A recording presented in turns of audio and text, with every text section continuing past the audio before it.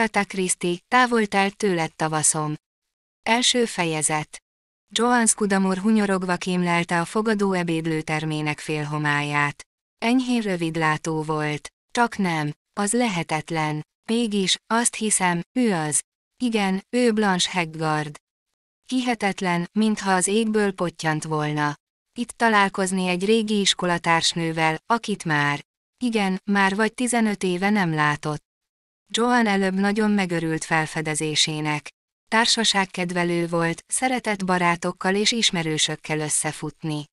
Magában azt gondolta, szegény, szegény Blanche, szörnyen megváltozott. Évekkel öregebbnek látszik. Évekkel, a szó szoros értelmében. Végtére nem lehet több, mint. Mennyi is, 48 éves. Ezek után mi sem természetesebb, mint hogy Joan megnézte magát a tükörben, amely az asztala mellett függött a falon. A látványtól mindjárt jobb kedvre derült.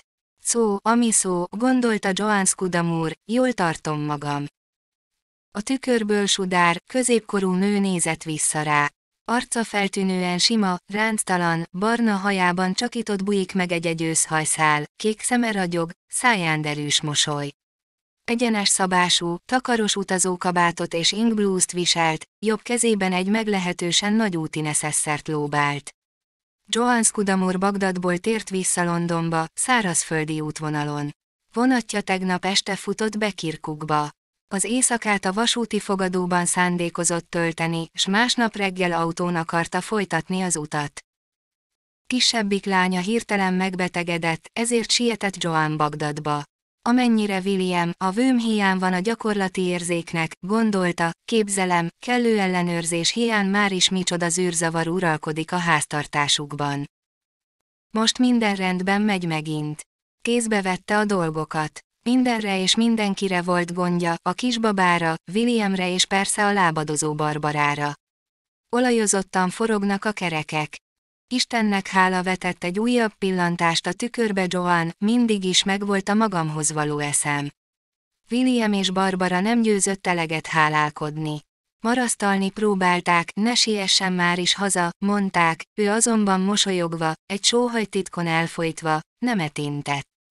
Mert elvégre gondolnia kellett Rodnira is. Szegény, jó öreg Rodnira, aki krémisterben maradt, nyakig munkában, a szolgálók kényére kedvére bízva. Márpedig tudjuk, mondta Joan, mit érnek a cselédek. Áte cselédeid, anya ellenkezett Barbara, mindig tökéletesen működtek. Kogyis ne, ha egyszer te felügyeltél rájuk. Joan nevetett, de hízelget neki a megjegyzés. Mert az ember igenis örül az elismerésnek. Joannak olykor úgy rém lett, családja nagyon is természetesnek veszi, hogy mindig minden olyan simán zajlik le náluk, és nem méltányolja az ő igyekezetét és áldozatkészségét. Nem mintha oka lenne elégedetlenkedni. Tony, Averil és Barbara remek gyerekek, Rodninak és neki minden oka megvan rá, hogy elégedettek legyenek velük. Tony ma narancsot termeszt Rodeziában. Averil, aki átmenetileg némi aggodalomra adott okot a szüleinek, ma egy jómódú, kellemes bróker felesége. Barbara férjének pedig kitűnő állása van Irakban, a munkaügyi minisztériumban. Mindhárman csinosak, egészségesek és jól neveltek. Igazán szerencsések vagyunk mi ketten, Rodni meg én. Gondolta Joan, bár titokban úgy vélte, van ebben némi részük nekik is, mint szülőknek.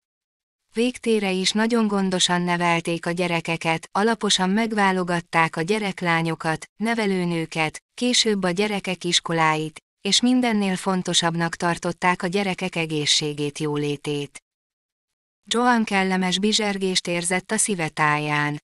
Mi tagadás, jó érzés, gondolta, ha az ember elmondhatja magáról, kitűnő munkát végzett. Sosem vágytam karrier vagy más e Beértem azzal, hogy feleség vagyok és anya.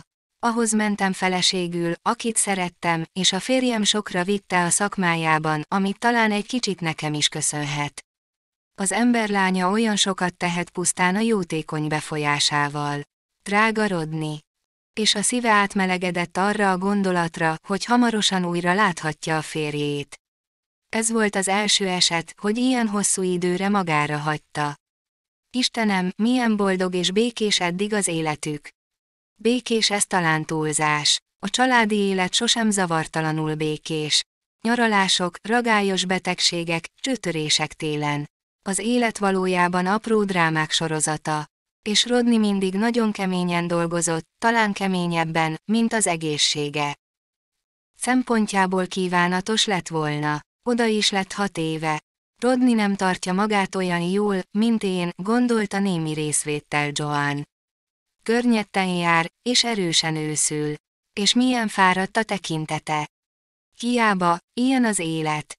És talán most, hogy a gyerekek mind a saját lábukra álltak, az ügyvédi iroda nagyon jól megy, és az új társ pénzt is hoz a házhoz, Rodninak sem kell már annyira hajtania. Lesz idejük arra, hogy egy kicsit szórakozzanak. Fel kell ugraniok időről időre egy-két hétre Londonba. Rodni golfozhatna is. Miért is nem jutott az előbb eszembe?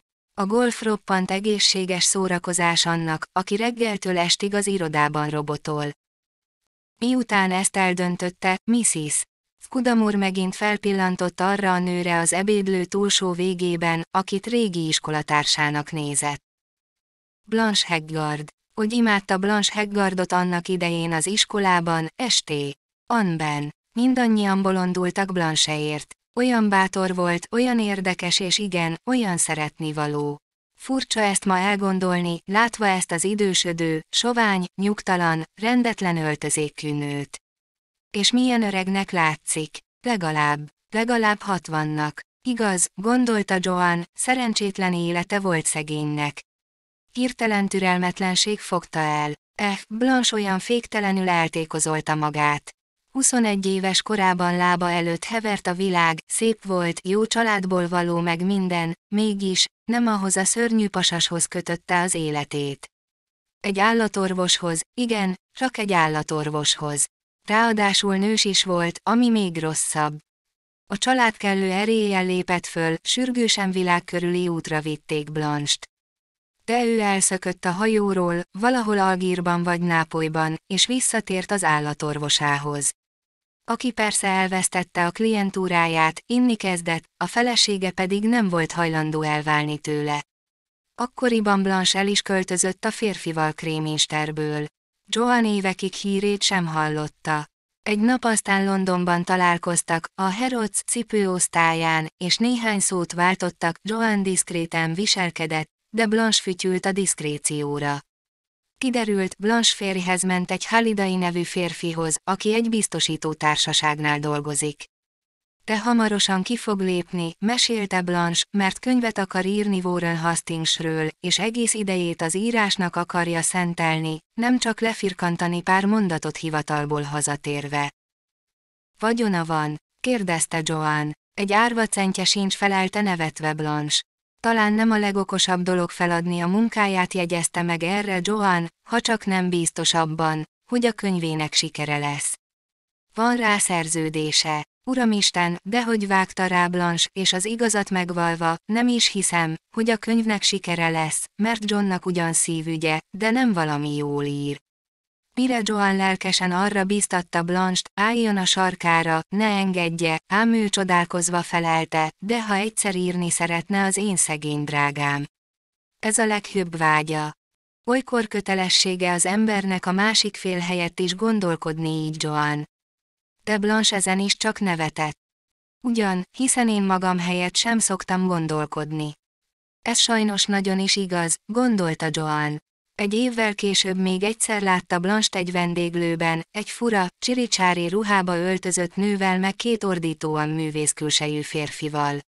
Aztán el is feledkezhetett volna végleg Blanche-ról, ha nem kap öt évvel később egy levelet tőle, Blanche 50 fontot kért kölcsön azzal az indoklással, hogy a kisfiát műteni kell. Joan rögtön elküldött neki 25 fontot és egy kedves levelet, de mindössze egy levelezőlap érkezett válaszul, ezzel a szöveggel, de rég dolog, Joan, tudtam, hogy nem hagy cserben.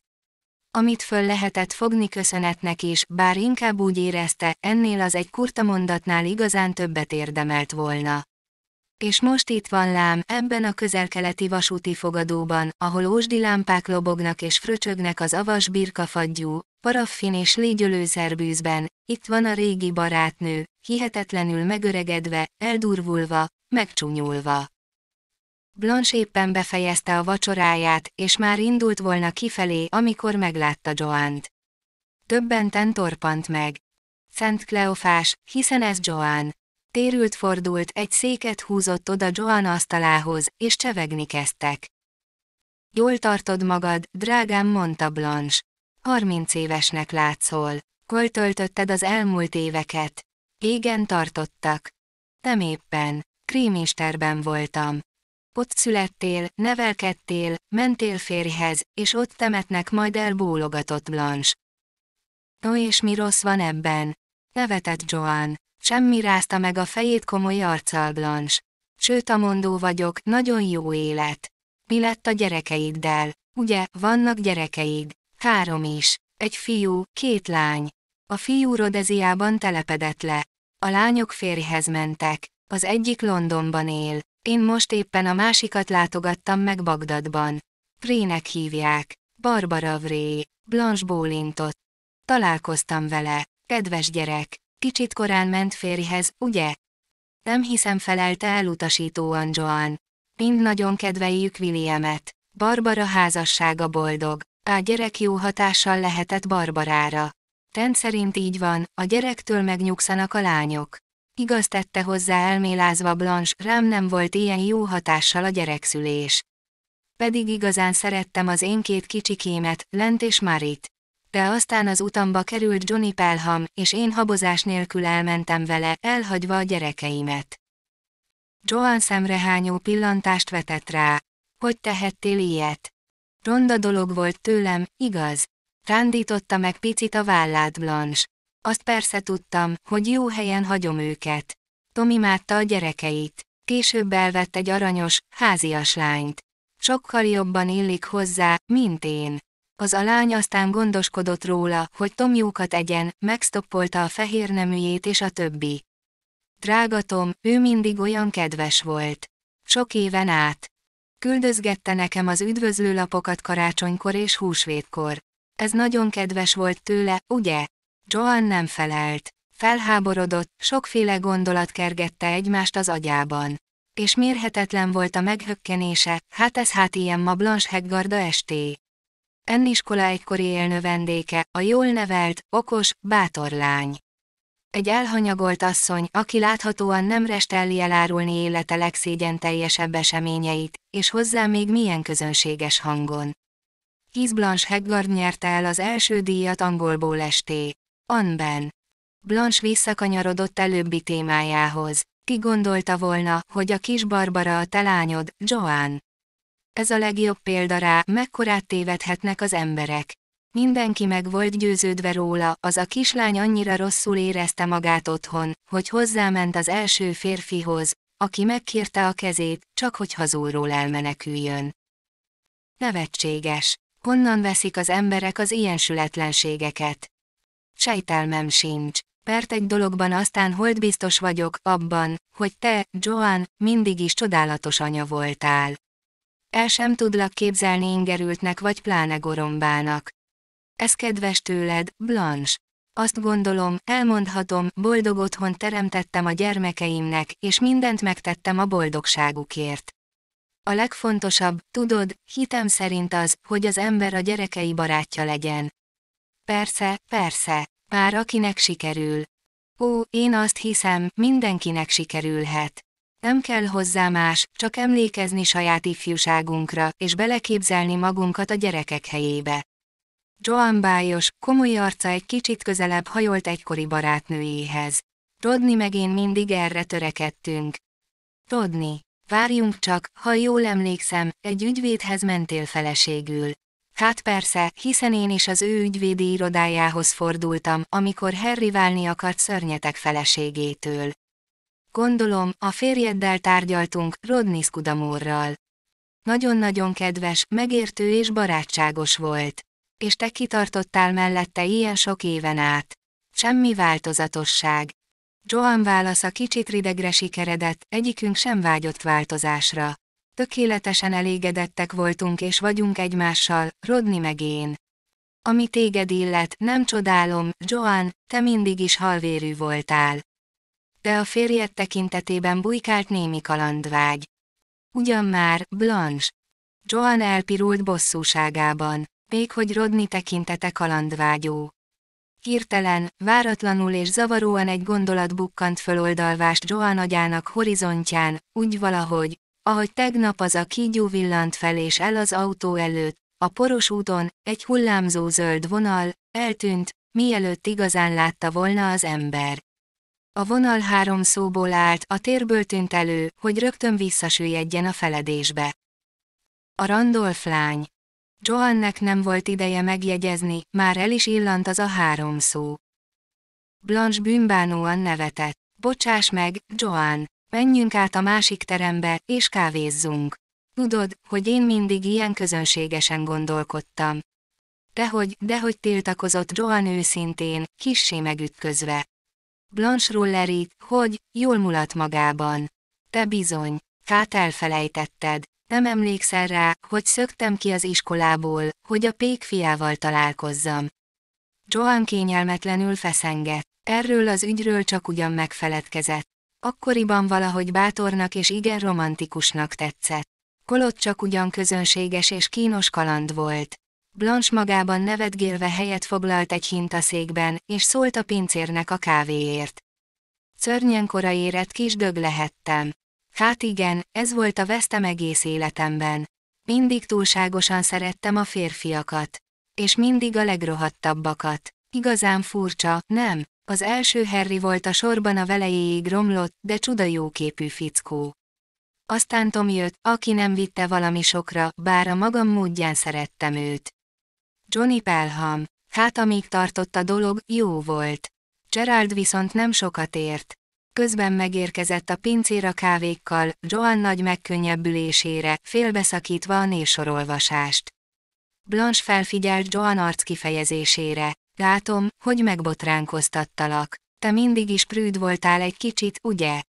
Remélem, mindig kész voltam felvilágosultan szemlélni a dolgokat. És Joan nem csekély erőfeszítés árán kedvesen Blanche-ra mosolygott. Kicsit zavartan hozzátette még, csak, tudod, annyira, annyira sajnállak. Engem sajnálsz, kuncogott Blanche. Ez kedves tőled, drágám, de sose pazarol dráma részvétedet. Sokszor mulattam jól életemben, Joanna szeme sarkából önkéntelen, szánakozó pillantást vetett Blanche-ra. Hát nem is sejti, milyen szánalmas. Haja hanyagul szőkített, ruhadarabjai rikítóak és nem is egészen tiszták, az arca nyúzott, egy rossz hírű, toparánc, züllött öregasszony.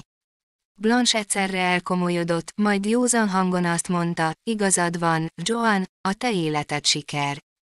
Én meg, én jól összekuszáltam a magamét.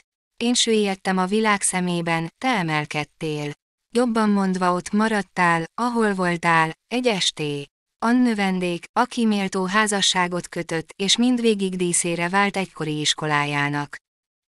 Joan igyekezett nyugalmasabb vizekre, az egyetlen téma felé elterelni a beszélgetést, amelyhez mindkettejüknek köze van. Szép napokat értünk meg a esté. Anben, ugye, űrhetőeket. Blanche nem látszott nagyon lelkesnek. Olykor nagyon untam az iskolát. Szegényes volt és unalmas. Elkívánkoztam onnan, világot akartam látni. Nos görbült futómosolyra az ajka, láttam. Elmondhatom, alaposan megtapasztaltam a világot. Joan most szánta rá magát először, hogy megkérdezze, hogyan került Blanche a fogadóba. Hazatérőben vagy Angliába. A holnap reggeli csoporttal indulsz. A szíve kicsit összeszorult, mi alatt a kérdést föltette. Nagyon nem szerette volna a hazautat Blanche társaságában megtenni.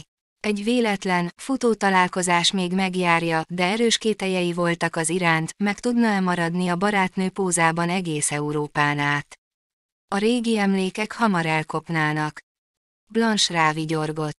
Nem, az ellenkező irányba tartok. Bagdadba, a férjemhez. Joant őszintén meglepte a válasz. Honnan vesz Blanche olyan tiszteletre méltó valamit, mint egy férj? Bizony, a férjem mérnök a vasútnál. A neve Donovan. Donovan, csóválta Joan a fejét. Nem hiszem, hogy találkoztunk volna Bagdadban. Mérget vehetsz rá, drágám, hogy nem. Alatta áll a te társadalmi pozíciódnak. Mellesleg iszik, mint a kefekötő. De a szíve tiszta, mint egy gyereké. És lehet, hogy ez téged meglep, de az ő szemében én vagyok a világ közepe. Ennek így is kell lennie felelte Joan készséggel és udvariasan. Terék, jó Joan, te mindig betartod a játékszabályokat, ugye? Örülhetsz, hogy az ellenkező irányba megyek. Öt nap az én társaságomban, ez még a te keresztényi lelkednek is sok lenne. Ne is próbál tagadni. Tudom. Mi vélettem. Testben lélekben durva, ez a véleményed rólam. Pedig vannak ennél sokkal rosszabb dolgok is. Joan ezt nagyon is kétségesnek tartotta. Úgy látta, Blanche igen mélyre süllyedt, és ez tragédia a javából. Blanche folytatta. Jó utat kívánok, de nem igen hiszem, hogy az lesz. Ha nem csalódom, hamarosan elered az eső. Ka így lesz, megeshet, hogy napokra elakadsz út közben, egy Isten háta mögötti helyen. Remélem, nem, az felborítaná az összes vasúti helyfoglalásomat. Tudod, a sivatagi utazás ritkán illeszkedik a menetrendhez. Bár ha túljuttok valahogy a vádikon, a többi már simán mehet.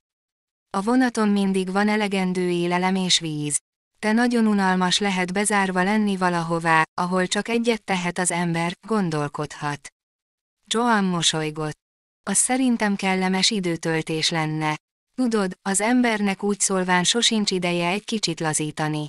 Sokszor kívántam már, bár lenne egy teljesen szabad hetem. Eddig azt hittem, bármikor csinálhatsz magadnak egy ilyen hetet. Sajnos nem. Nagyon elfoglalt vagyok a magam szerény módján. Én vagyok a Városi Kertegylet titkára. Ezen kívül tagja vagyok a helyi kórház felügyelő bizottságának. No és ott van még az intézet meg az idegenvezetés. Emellett elég aktívan politizálok. Mindehez ad hozzá a háztartást, Rodnit és azt, hogy gyakran járunk vendégségbe és fogadunk látogatókat. Úgy gondolom, jót tesz egy ügyvédnek, ha megfelelő. Társadalmi háttere van, ráadásul szeretem a kertemet, és meglehetősen sokat bíbelődöm vele. Jóformán annyi időm sincs reggeltől estig, hogy leüljek és pihenjek egy kicsit, kivéve az ebéd előtti negyed órácskát. No, és olvasni valóm is a kadiócskán, ha nem akarok csúnyán lemaradni. Úgy látszik, csoda jól bírod a strapát jegyezte meg halkan Blanche, Joan sima, ránctalan arcára tekintve. Kimerülni még mindig jobb, mint berosdásodni. És igaz, ami igaz, az egészségemre igazán nem panaszkodhatom, amiért őszinte hálát érzek. Mégis pompás lenne, ha egy egész napot vagy akár kettőt úgy tölthetnék el, hogy nincs más dolgom, mint gondolkodni. És ugyan miről gondolkodnál? kérdezte Blanche. Joan felnevetett. Nevetése halk volt, de csengő és kellemes. Rengeteg dolog van, amiről gondolkodhat az ember. Blanche elvigyorodott. Például számba veheti a bűneit. Igaz, nagyon is igaz bólogatott Joan udvariasan, de most már mosolytalanul. Blanche Joan arcát figyelte, ez persze a te esetedben nem tartana sokáig. Majd homlokát ráncolva így folytatta, kénytelen lennél a bűneidről hamarosan áttérni a jó cselekedeteidre. No meg a sok áldásra, amelyben életed során részed volt. Hát, nem is tudom. Ez meglehetősen unalmas lenne, Kérdés persze állt meg, pillanatnyi szünetet tartva, hogyha napokon át nem kellene. Másról gondolkodnod, csak saját magadról, akkor mire jutnál? Joan kétkedve, s titkon kissé mosolyogva hallgatta. Juthat-e másra az ember, mint amit már régóta tud? Blanche elgondolkodva válaszolt, azt hiszem, juthat. Hirtelen beleborzongott, én nem szeretném kipróbálni. Vannak emberek, akik hajlamosak az elmélkedésre, mondta Joan. Ezt képtelen vagyok megérteni. A misztikus nézőpont számomra felfoghatatlan. Az e fajta vallásosságnak nyoma sincs bennem. Ezt mindig valamiféle szélsőséges dolognak tartottam, ha érted, hogy gondolom. Csak ugyan sokkal egyszerűbb elmondani a legrövidebb imádságot bólintott Blanche és mert Joan kérdő pillantást vetett rá, még hozzátette, Istenem, könyörülj rajtam, bűnösön. Ebbe jóformán minden belefér. Hát igen, igen, igazad van felelte kissé feszengve Joan. Blanche nevetésben tört ki. Tudod, mi a te bajod, Joan? Az, hogy neked nincsenek bűneid. Ezért nem tudsz imádkozni. Én bezzeg jól el vagyok látva megbánni valóval. Olykor úgy rémlik, egész életemben csak is olyasmit csináltam, amit nem lett volna szabad. Joan bölcsen hallgatott, nem tudta, mit mondjon. Blanche könnyedebb hangon folytatta, hiába, ez már csak így megy a mi világunkban. Az ember távozik, amikor maradnia kéne, felveszi, amit jobb lenne otthagynia, az egyik pillanatban olyan szép az élet, hogy szinte nem is igaz, a következő percben. Pedig a nyomorúság és a szenvedés poklába zuhanunk. Amikor jól megy a dolgunk, azt hisszük, ez már örökké így lesz pedig dehogy. S amikor a legmélyebbre jutunk, azt képzeljük, soha többé nem vergődünk a felszínre, nem jutunk levegőhöz. Ilyen az élet, nem de.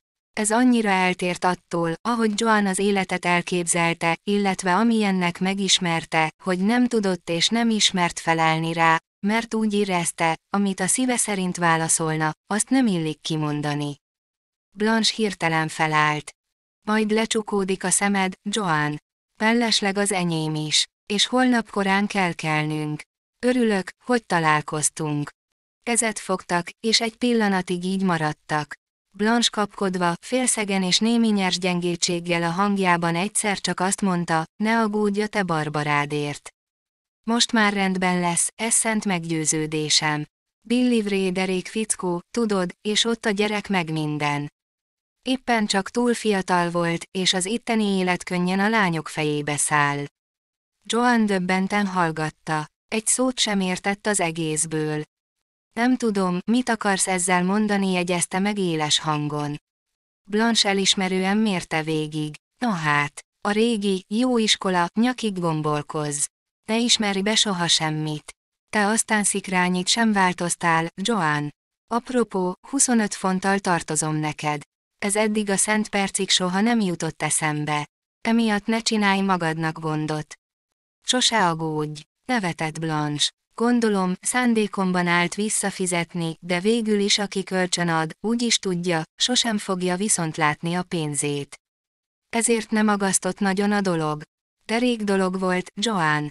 Az a pénz valóságos áldás volt nekünk. Tá kisfiadat műteni kellett, ugye? Előbb azt mondták a doktorok. Aztán mégsem kellett lent megoperálni.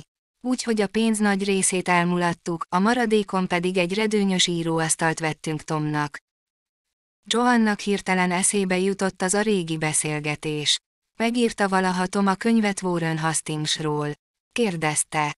Blanche rácsodálkozott, hogy még erre is emlékszel. Megírta bizony, 120 ezer szóban. Kiadták a könyvet.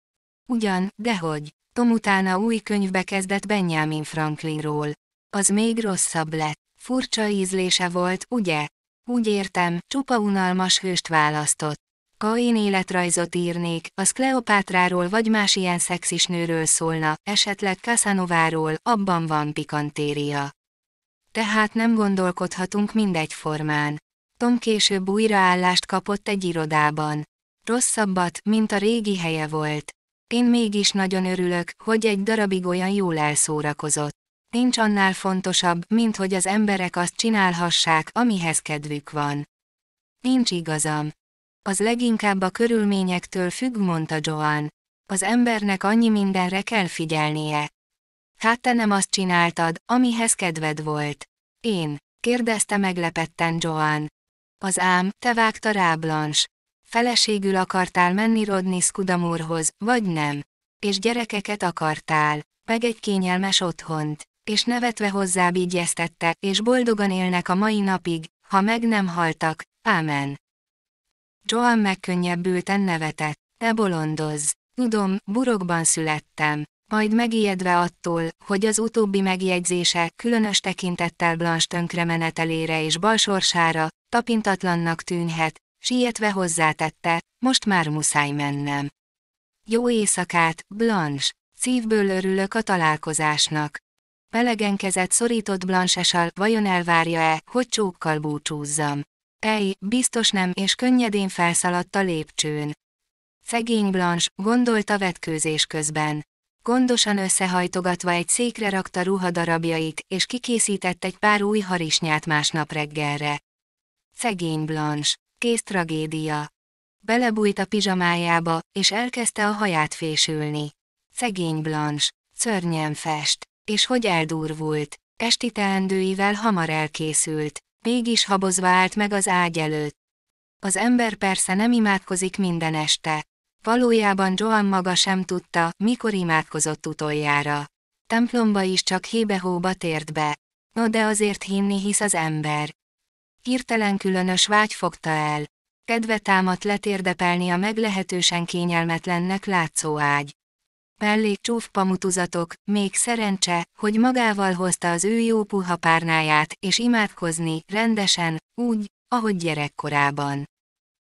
De ez a gondolat megriasztotta és feszélyezte. Gyorsan ágyba bújt, és magára húzta a takarót. Felvette az ágy fejénél lévő asztalkára kikészített könyvet, Lady Catherine Dysart igazán jól megírt emlékezéseit, egy roppant szellemes beszámolót a viktoriánus korderekáról. De éppen csak belekezdett, amikor rájött, nem tud a könyvre figyelni. Visszarakta hát az asztalkára, és eloltotta a villanyt. Megint az estéma jutott eszébe. Mit is mondott erről Blanche? Valami felháborítót. Azért nem tudsz imádkozni, mert nincsenek bűneid. Ezt vajon hogy érthette? Joan gyorsan elhadart egy összefüggéstelen szavakból összehordott, siető simát. Istenem köszönöm neked szegény Blanche, köszönöm neked, hogy nem vagyok olyan fogad szívbéli hálámat annyi áldásért és főleg, hogy nem olyan vagyok, mint szegény Blanche szegény Blanche igazán borzasztó. Az ő hibája persze borzasztó valósággal melbevágott köszönöm, Istenem én más vagyok szegény Blanche. Aztán elaludt. Második fejezet. Másnap reggel, amikor Joan Scudamore kilépett a fogadóból, esett. A finom, szitáló eső valahogy nem ideillőnek tetszett a világnak ezen a részén. Kiderült, ő az egyetlen nyugatra tartó utas, ami, mondták, ritkán fordul elő, bár az évnek ebben a szakában meglehetősen gyér a forgalom. Előző pénteken egy népes csoport távozott. Joant egy ütött kopott autó várta. Sofőrje európai volt, a másodpilóta benszülött. A fogadó gondnoka a hajnali szürkületben a lépcsőn állt, hogy Joan szolgálatára legyen, az arabokkal üvöltözzön, míg teljes megelégedésére el nem rendezték a csomagokat, és hogy szerencsés utat kívánjon a mademoiselle így szólította minden hölgy vendégét. P. meghajlással átnyújtotta Joannak egy kis kartondobozban a villás reggeliét. A sofőrkedélyesen odagiáltott pápá, sátán, a holnap esti vagy jövő heti viszontlátásig. Inkább a jövő hetiig. Az autó nekilódult. Végigurult a város jellegzetesen keleti utcáin, amelyekben groteszkül és váratlanul nyugati stílusú épülettömbök terpeszkedtek. A duda megállás nélkül szólt, majmok ugrottak félre, gyerekek futottak szét a kocsi elől. A nyugati kapun át egy széles, rosszul kövezett útra jutottak, amely elég fontosnak látszott ahhoz, hogy a világ végéig vigyen de két kilométerrel odébb eltűnt, illetve hepehupás ösvényé alakult át.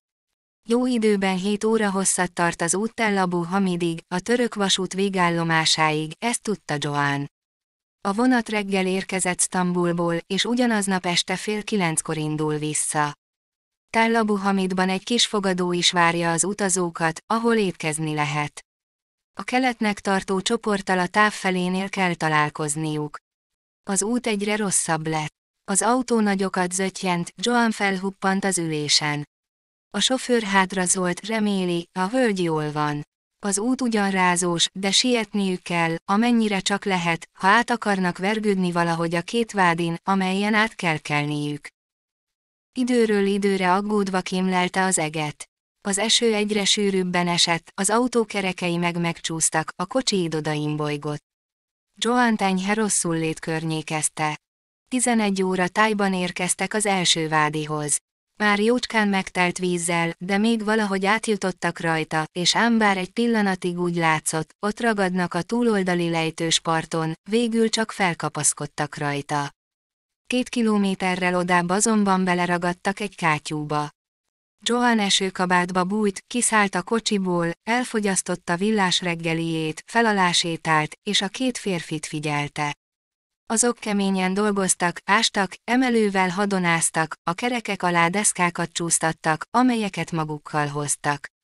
Izzadtak, átkozódtak, a kerekek áldázul forogtak a levegőben. Johannak úgy tűnt, az ügy reménytelen, de a sofőr megnyugtatta, ez nem a legrosszabb hely. Végre váratlanul, idegesítő hirtelenséggel talajt. Fogtak a kerekek, és az autó szárazabb talajra szökkent. Valamivel később két, ellenkező irányba haladó autóval találkoztak. Mindhárman megálltak, a sofőrök összedugták a fejüket, megtanácskozták a helyzetet. A másik két kocsiban egy nő utazott kisbabával, egy fiatal francia tiszt, egy öreg örmény és két kereskedőnek látszó angol. Aztán folytatták útjukat. Még kétszer kerültek kátyúba, kétszer kezdődött újra a hosszú, keserves harc a sárral, a kerekek kiásása. A második vádin nehezebben jutottak át, mint az elsőn. Már szürkült, mire odaértek, és a vádiban víz hömpölygött. Megvár vajon a vonat? kérdezte aggódva Joan. szerint ráadnak egy órát a menetidőre. Ennyit megengedhetnek maguknak, fél tíznél tovább nem várhatnak. De az út innentől simább. Másfajta talaj, sivatag. Az átkelés a vádin nagyon kínos volt túlsó partja merő sár, meredek és csúszós. Mire végül száraz talajra vergődtek, már esteledett. Onnantól csak ugyan könnyebben haladtak, de negyed tizenegyre érkeztek Tel Abu Hamidba. A sztambuli vonat már elment.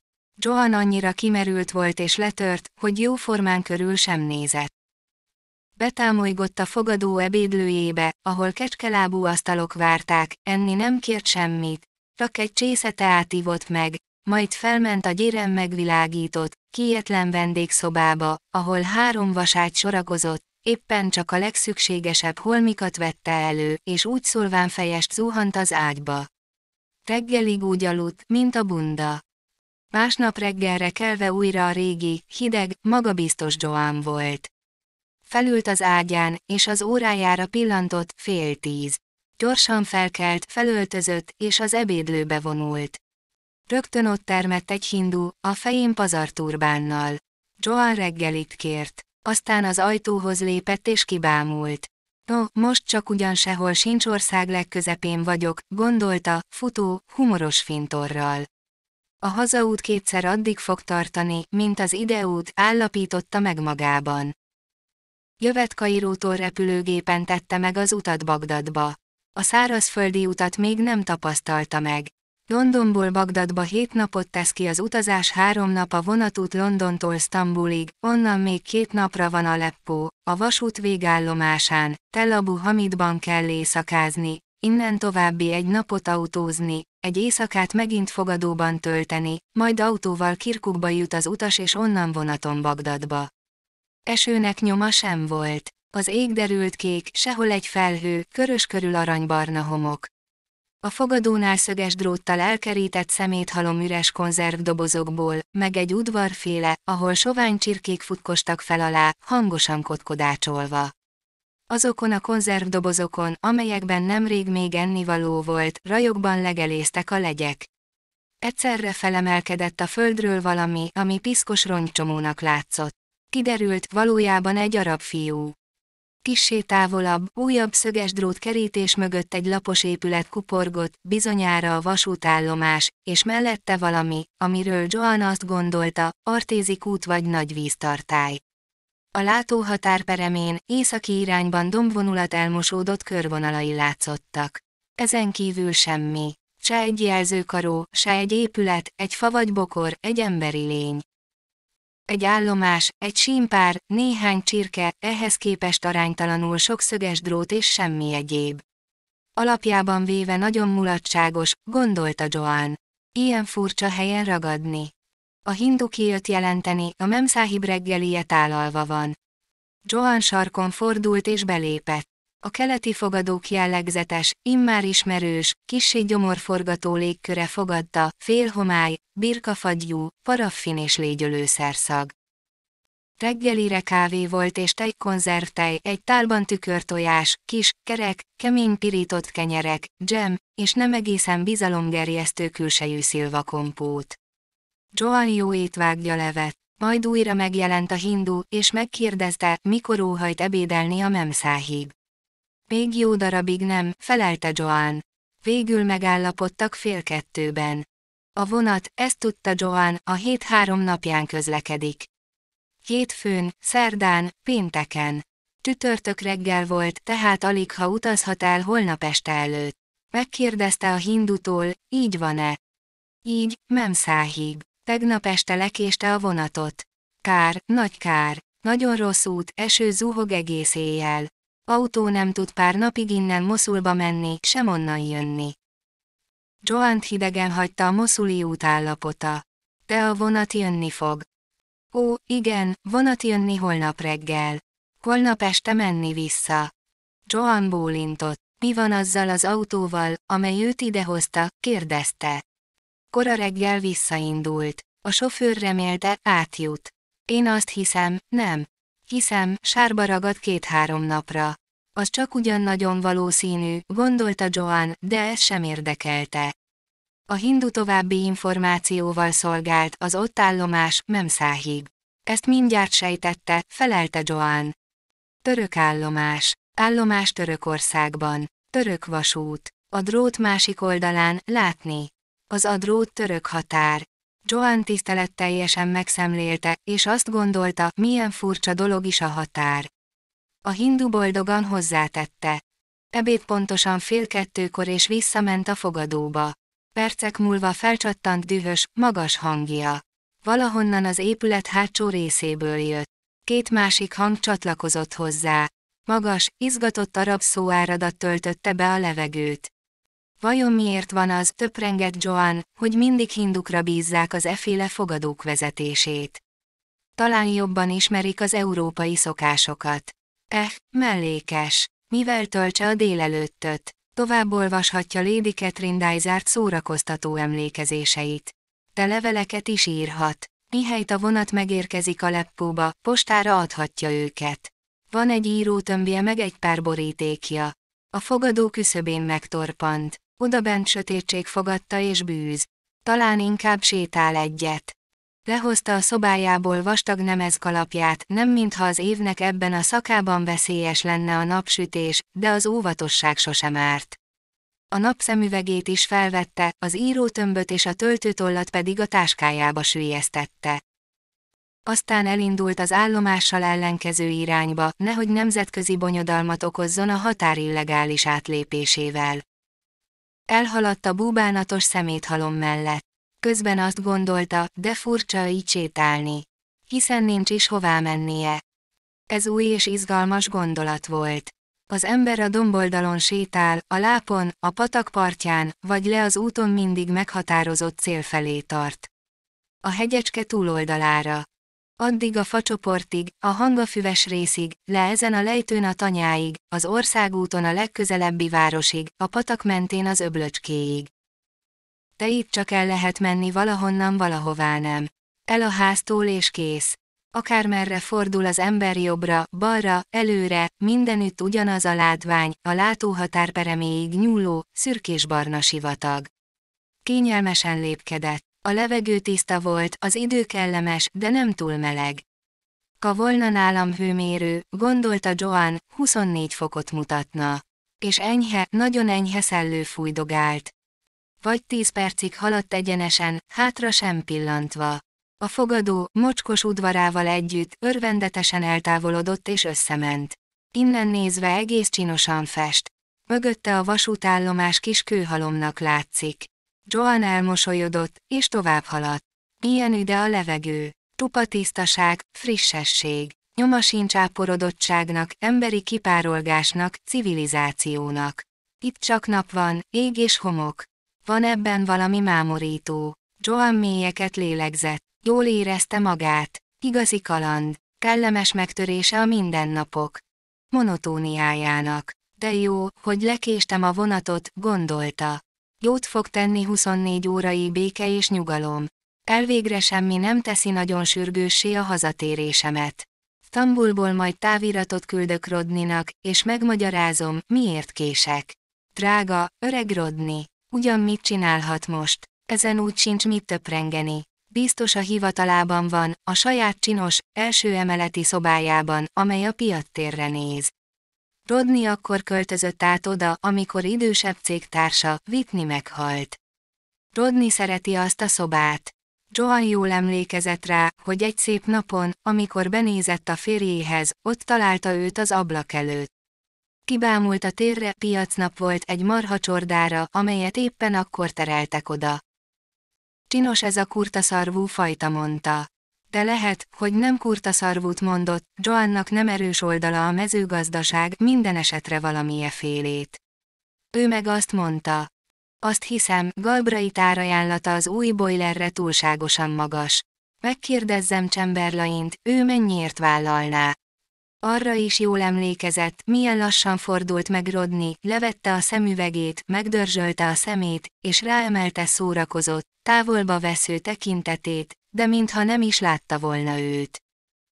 Boiler, kérdezte úgy, mintha az valami roppant bonyolult, távoli, sosem hallott dolog lenne, majd azt mondta, mi tagadás, bután, úgy hallottam, Hadezdon el akarja adni a fiatal bikáját. Bizonyára pénzre van szüksége, Igazán szép Rodnitől, hogy ennyire szívén viseli az alsó mezőtanya gazdájának, az öreg Hadezdonnak a sorsát, gondolta erre ő.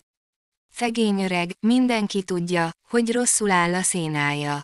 De azért nem ártana, ha Rodni kicsit gyorsabb felfogású lenne és odafigyelne arra, amit neki mondanak. Elvégre az emberek elvárják egy ügyvédtől, hogy gyors és éles legyen az esze, és rossz benyomást ten Rodney klienseire, ha rájuk is ilyen bamba pillantást vetne. Tehát azt mondta kicsit türelmetlenül, de kedvesen, hol jár az eszed, Rodney? Én a központi fűtés bojleréről beszéltem.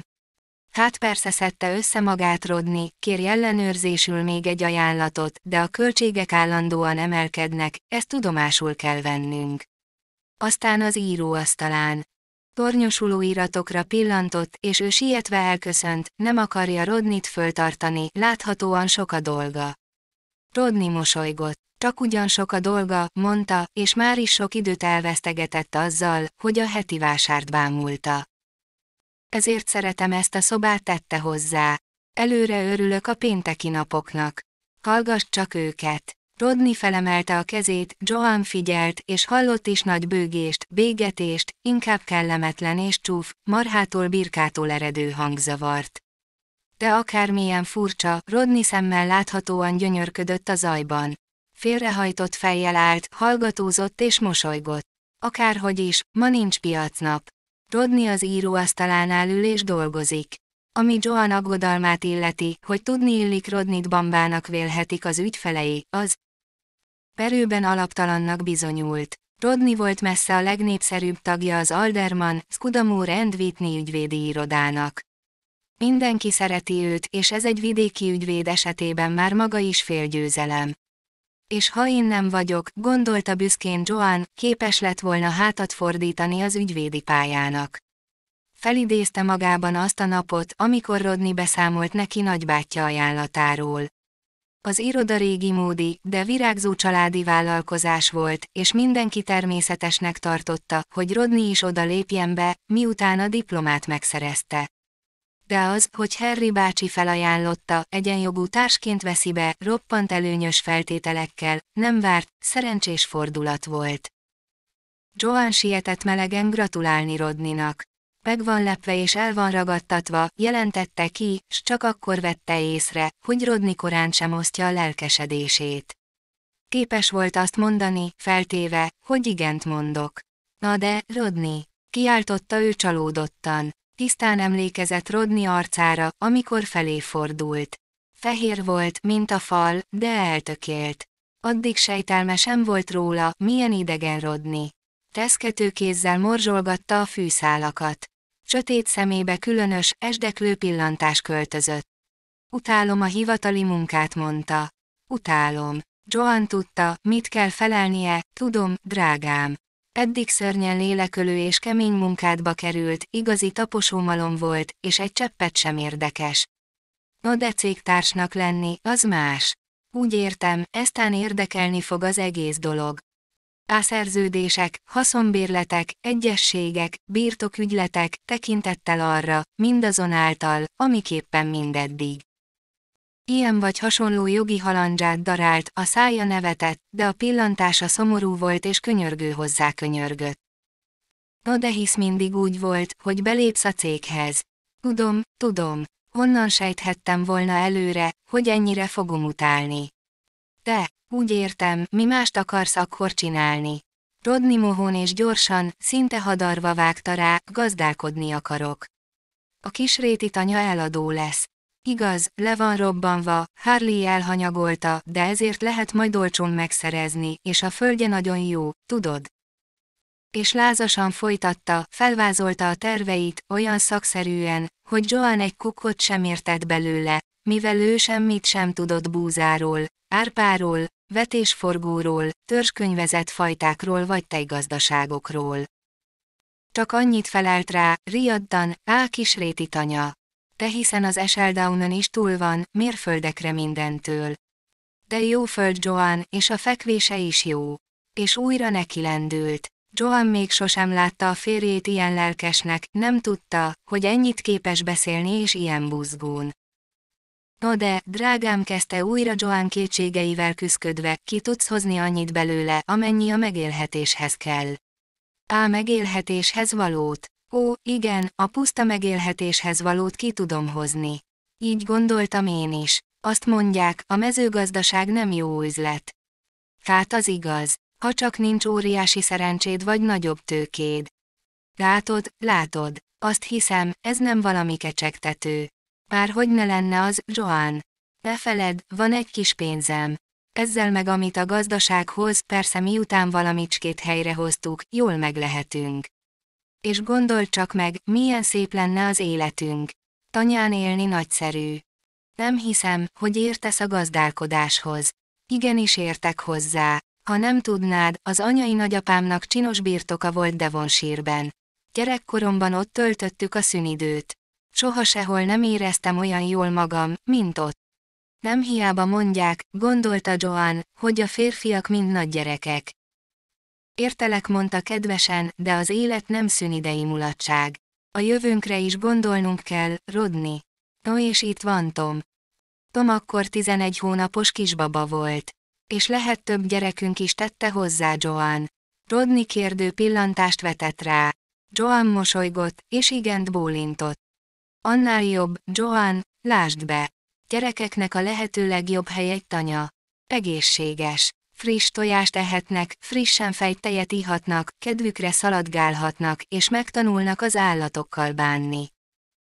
Rodni, drágám, egy csomó más dolgot is figyelembe kell vennünk. Ott van például a tanítatásuk. Jó iskolákba kell járatnunk őket. Ez sokba kerül, meg a cipő, a ruha, a doktorok. És az is fontos, hogy hozzájuk illő pajtásaik legyenek. Nem gondolhatsz csak magadra, Rodni. Tekintettel kell lenned a gyerekeid érdekére is, ha már világra kényszerítetted őket. Rodni elismételte, konokul, de némileg elbizonytalanodva. Át anyám boldogok lennének, ez nem észszerű, Rodni, egy cseppet sem az. Ha viszont a céghez lépsz be, egy-két év múlva évi 2000 fontra is felmehet a jövedelmed. Akár többre is. Kerry bácsi ennél többet keres. Látod, ezt az ajánlatot nem utasíthatod el. Őrültség volna nemet mondani rá. Joan ezt nagyon határozottan jelentette ki. Már látom, erélyesnek kell lennem, és kettőnk helyett okosnak, gondolta. A Rodni elvakultságában nem látja, mi a jó neki, ő, Joan kénytelen ráébreszteni. Micsoda ötlet, gazdálkodni. Aranyos, de bolondos és nevetséges. Rodni olyan, mint egy kisfiú. Joan erősnek, okosnak, anyásan gondoskodónak érezte magát. Begondold, Rodni, hogy nem értelek meg, és nem érzek együtt veled. De ez az egész dolog irreális. Rodni itt közbevágott, nincs reálisabb a gazdálkodásnál, mondta. Igaz, de nem illik bele a képbe. A miénkbe. Itt van ez a jól menő családi cég, ahol szép karrié vár rád, és Harry bácsi hihetetlenül nagy lelkű ajánlata. Tudom, tudom. Felülmúlja legmerészebb várakozásaimat is. Ezt nem utasíthatod el, Rodney, egyszerűen nem mondhatsz rá nemet. Koltodik bánnád, örök életedben furdalna miatta a lelkiismereted. Az az átkozott iroda, motyogta Rodney. Rodney, nem is utálod annyira, mint hiszed. De igenis, utálom. Öt éve csinálom, ne feled. Tudom jól, mit érzek. Majd megszokod, és ezentúl másképp lesz. Cégtársnak lenni, gondolom, egészen más. Meglátod, végül igenis érdekelni fog a munka meg az emberek, akikkel dolgod lesz. Meglásd, Rodney, végül boldog leszel, hogy ezt választottad. Rodney Joanra pillantott. Szomorú volt a pillantása, de szeretet is volt benne meg kétségbeesés, és még valami. Mi is, talán a remény utolsó szikrája. Honnan tudod, hogy boldog leszek? És Joan nagy vidáman rávágda. Nem csak gondolom, tudom. Majd meglátod. És maga biztosan rábólintott. Rodney nagyot sóhajtott, majd vállat vont, hát jó. Legyen úgy, ahogy kívánod. Bizony, gondolta Joan, a késélén táncoltunk. Rodney szerencséjére, hogy ő nem ingott meg, és nem tűrte el, hogy a férje holmi futó ábrándért odadobja a karrierjét. Ha a nők nem lennének, a férfiak csúnyán összekuszálnák az életüket. De a nőkben van realitásérzék, szilárdság. Igenis Rodney szerencséje az, hogy ő állt mellette. A karórájára nézett. Fél tizenegy. Nem tanácsos túlságosan messzire menni már csak azért sem, és elmosolyodott, mert úgy sincs hová. Hátra pillantott. Mi csak, a fogadót már alig látni. Úgy belesimul a tájba, hogy szinte észre sem lehet venni.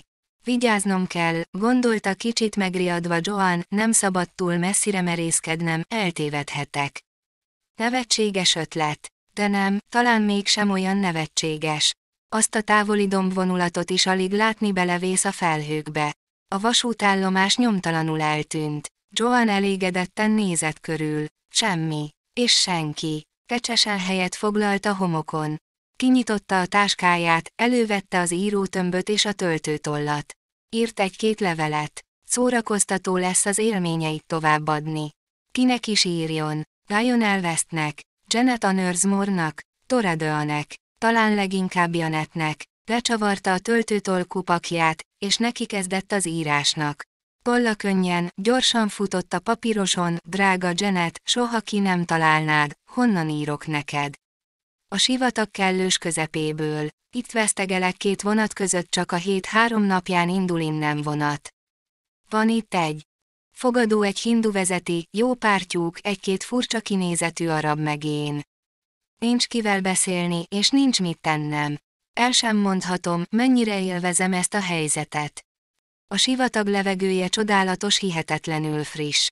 Ó és ez a csend, míg meg nem tapasztaltad, el sem képzelheted. Úgy rémlik, mintha évek óta először hallanám a saját gondolataimat.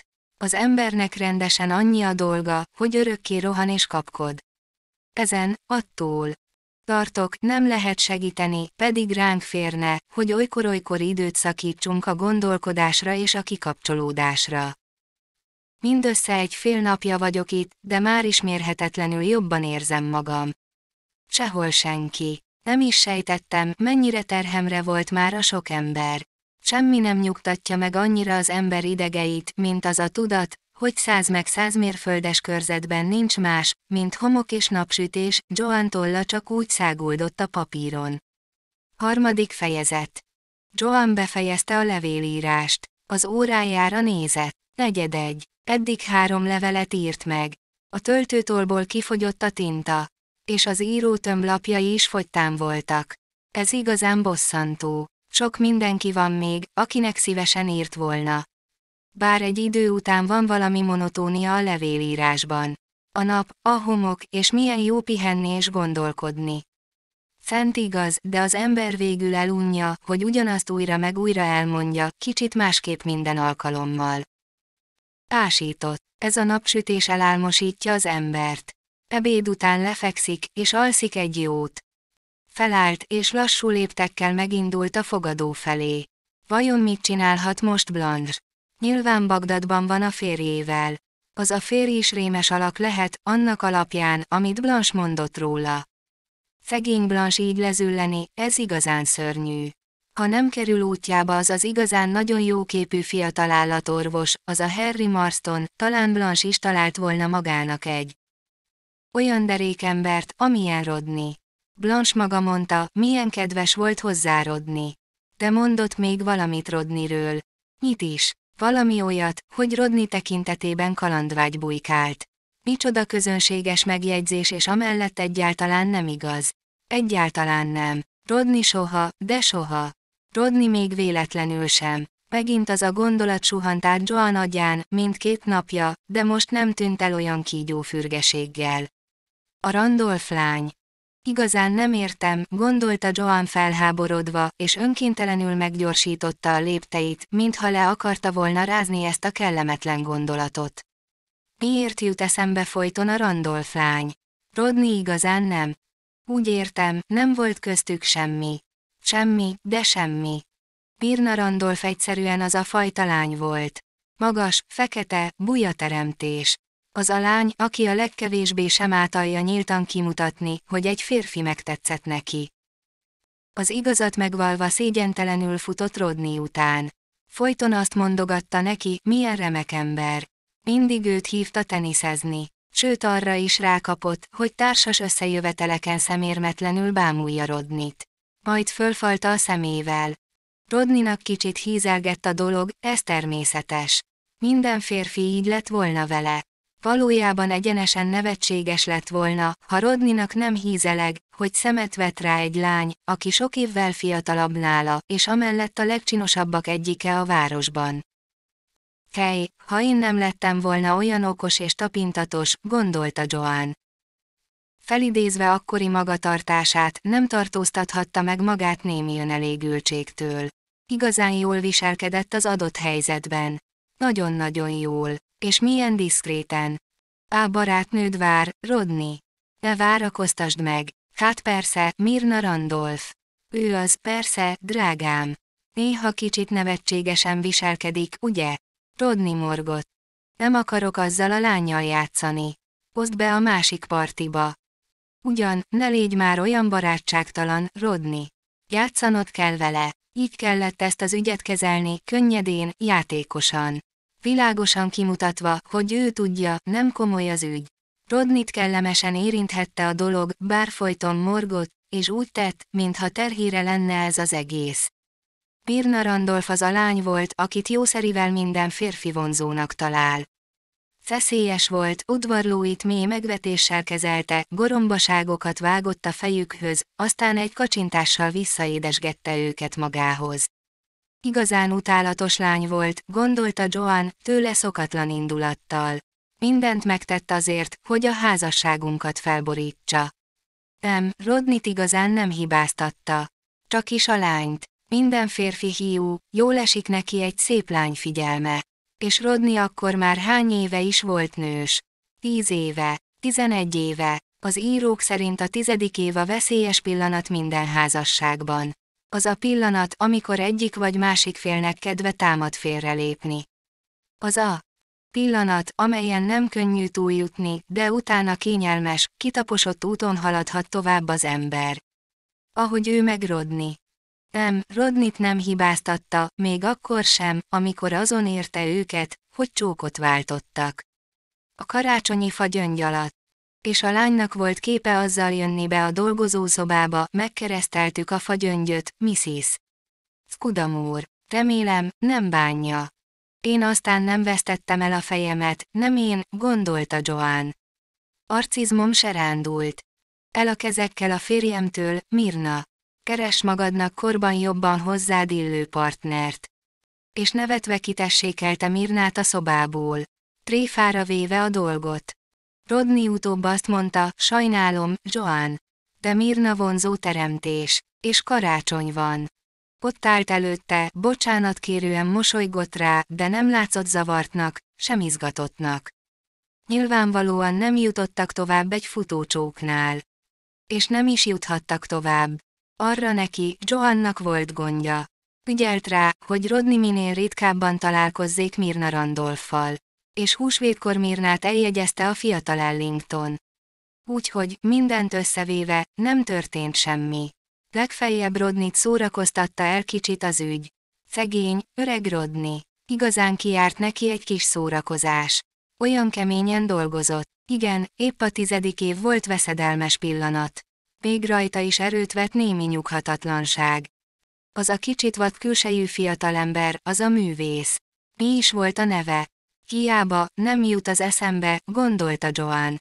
Pedig akkoriban kicsit tetszett nekem. Mosolyogva ismerte be, hogy igen, mi tagadás kicsit belebolondult. Olyan komoly volt a fiú, és olyan lefegyverző áhítattal bámulta őt. Aztán arra kérte, üljön modellt neki. Jó kifogás. A fiú mindössze két szénvázlatot készített róla, azokat is összetépte. Nem sikerül őt a papírra bűvölnie, mondta mentegetőzve. Joan tisztán emlékezett akkori érzelmeire. Mennyire hízelgett és tetszett neki a dolog. Szegény fiú, azt hiszem, kezd belém szeretni, gondolta. Hát igen, kellemes hónap volt. Bár a vége meglehetősen kiábrándítóra sikeredett. Egyáltalán nem úgy, ahogyan Joan eltervezte. Valójában azt bizonyította, hogy Michael kelövé, kelövé, hát persze, így hívták. Lehetetlen fráter. Sétálni indultak, idézte föl a befejezés Joan, az erdőbe, a patakpart mentén, ahol a medövé csobogva fut le Eseldown csúcsáról. Michael kicsit rekedt, zavart hangon arra kérte jöjjön vele. Joan jó előre fölkészült várható párbeszédükre. A fiú megvallja majd neki, hogy szereti.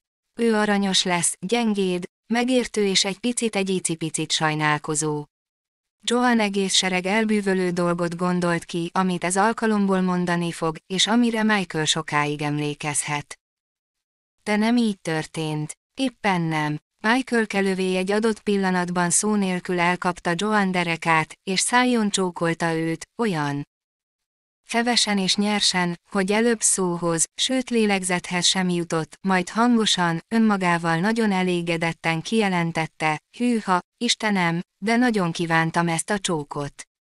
Azzal elővette és teljes lelki nyugalommal megtöltötte a pipáját, elengedve a füle mellett az ő haragos szemrehányását. Pontosan úgy viselkedett, gondolta Joan, a jelenetet visszaidézve, és úgy is beszélt, mint bármely férfi, aki a nagy melegben megszomjazva felhajt egy pohár sört. Némán tették meg a hazautat. Jobban mondva, csak Joan hallgatott sértetten, Michael kelővé a fülsiketítő hangokból ítélve, amelyeket hallatott énekelni próbált.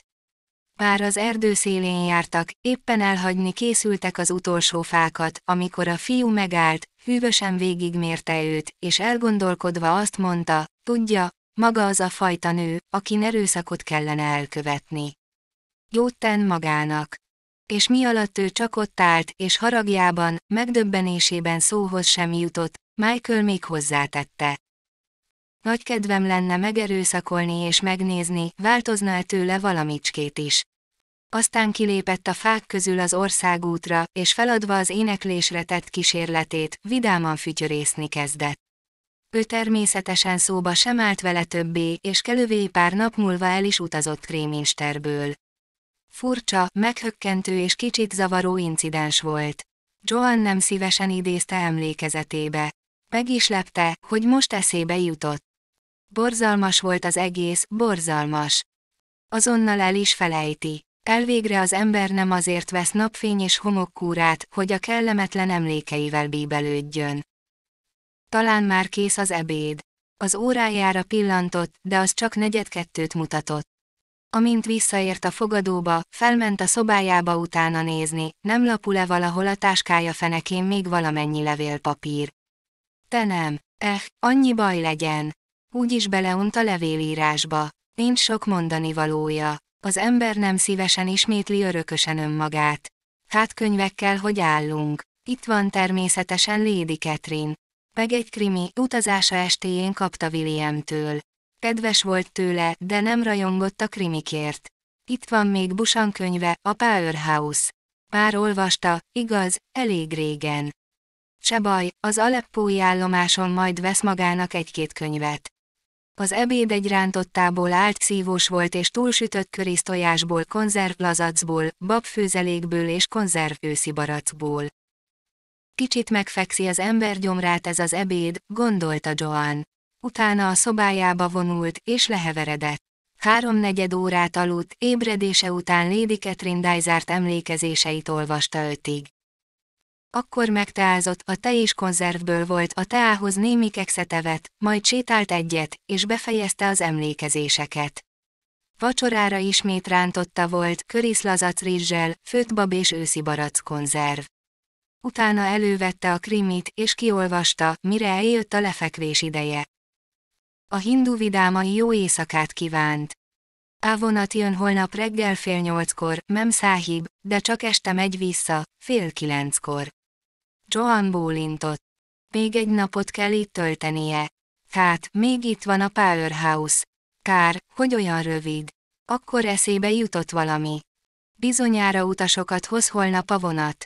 Vagy egyenesen tovább utaznak Moszulba. A hindu megrázta a fejét. Holnap nem, én hiszek. Ma nem jött autó egy sem. Gondolok, út Moszulba nagyon-nagyon rossz. Kátyú és kátyú. Joan megörült. Holnap új vendégek érkeznek a fogadóba. Kellemes lesz. Bizonyára akad köztük olyan, akivel el lehet beszélgetni. Amikor ágyba bújt, jóval vidámabb volt, mint tíz perccel korábban. Valami baj van ennek a helynek a légkörével, gondolta. Talán az a szörnyű avas fagyúszak teszi. Minden esetre leverően hat rám. Másnap reggel nyolckor ébredt. Felkelt, felöltözött, kivonult az ebédlőbe. Csak egy teríték volt az asztalon. Hívására rögtön megjelent a hindu. Izgatottnak látszott. Vonat nem jött, nem száhib. Nem jött meg, úgy érti, késik. Egyáltalán nem jött. Nagyon nagy eső volt a vonalon, túl Nisszibinen. Sint mind elmosta nem jön vonat át négy-öt-hat napig. Joan kétségbe esett. Tehát mi lesz velem? Nem száhib itt marad. Sok étel, sok sör, sok tea. Nagyon jó minden. Megvárja, míg jön vonat. Tegek, gondolta Joan, ilyenek ezek a keletiek. Az idő nekik nem számít. Nem bérelhetnék autót? kérdezte. A hindu csendesen nevetett. Autót. Honnan veszi Memszáhib autót? Az út Moszulba nagyon rossz, mindenki ott ragad a vádiknál. Telefonáljon a vasútiaknak. Ková telefonáljak. Török vasút. Törökök nagyon barátságtalanok. Semmit nem csinálnak meg, csak a vonatot járatják. Hát ha valahol, itt igazán távol vagyok minden civilizációtól, gondolta Joan, némi humorral szemlélve a helyzetet. Se telefon, se távirat, se autó. Nagyon szép idő, sok étel, sok kényelem mondta vigasztalóan a hindu. Hát az idő csak ugyan szép, gondolta Joan. Még szerencse. Szörnyű lenne, ha egész nap a fogadóban kéne ücsörögnöm. A hindu, mintha a gondolataiban olvasna, még hozzátette.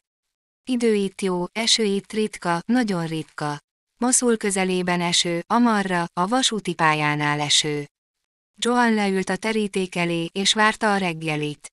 Túljutott az első pillanat kétségbeesésén. Kár lenne izgulni, csak magának ártana vele. Itt nincs segítség, de az időveszteség tagadhatatlanul bosszantó. Úgy fest, mosolygott befelé Joan, mintha az a kívánságom, amelyet Blanche előtt hangoztattam, beteljesülne. Azt mondtam, örülnék pár napi pihenőnek. Ráfér az idegeimre. No hát, most megkaptam. Semmi dolgom az égvilágon. Még olvasni valóm sincs. Alig ha nem jót fog tenni a semmit tevés. Pihenőkúra a sivatagban. Blanche képével együtt felmerült egy kellemetlen gondolat. Olyas valami, amire a leghatározottabban nem óhajt visszaemlékezni. Egyáltalán, miért gondolna Blanche-ra? Reggeli után sétára indult. Mint előző nap, jócskán, de nem túlságosan eltávolodott a fogadótól, majd kényelmesen elhelyezkedett a homokon. Jó darabig mozdulatlanul ült, félig behunyt szemmel.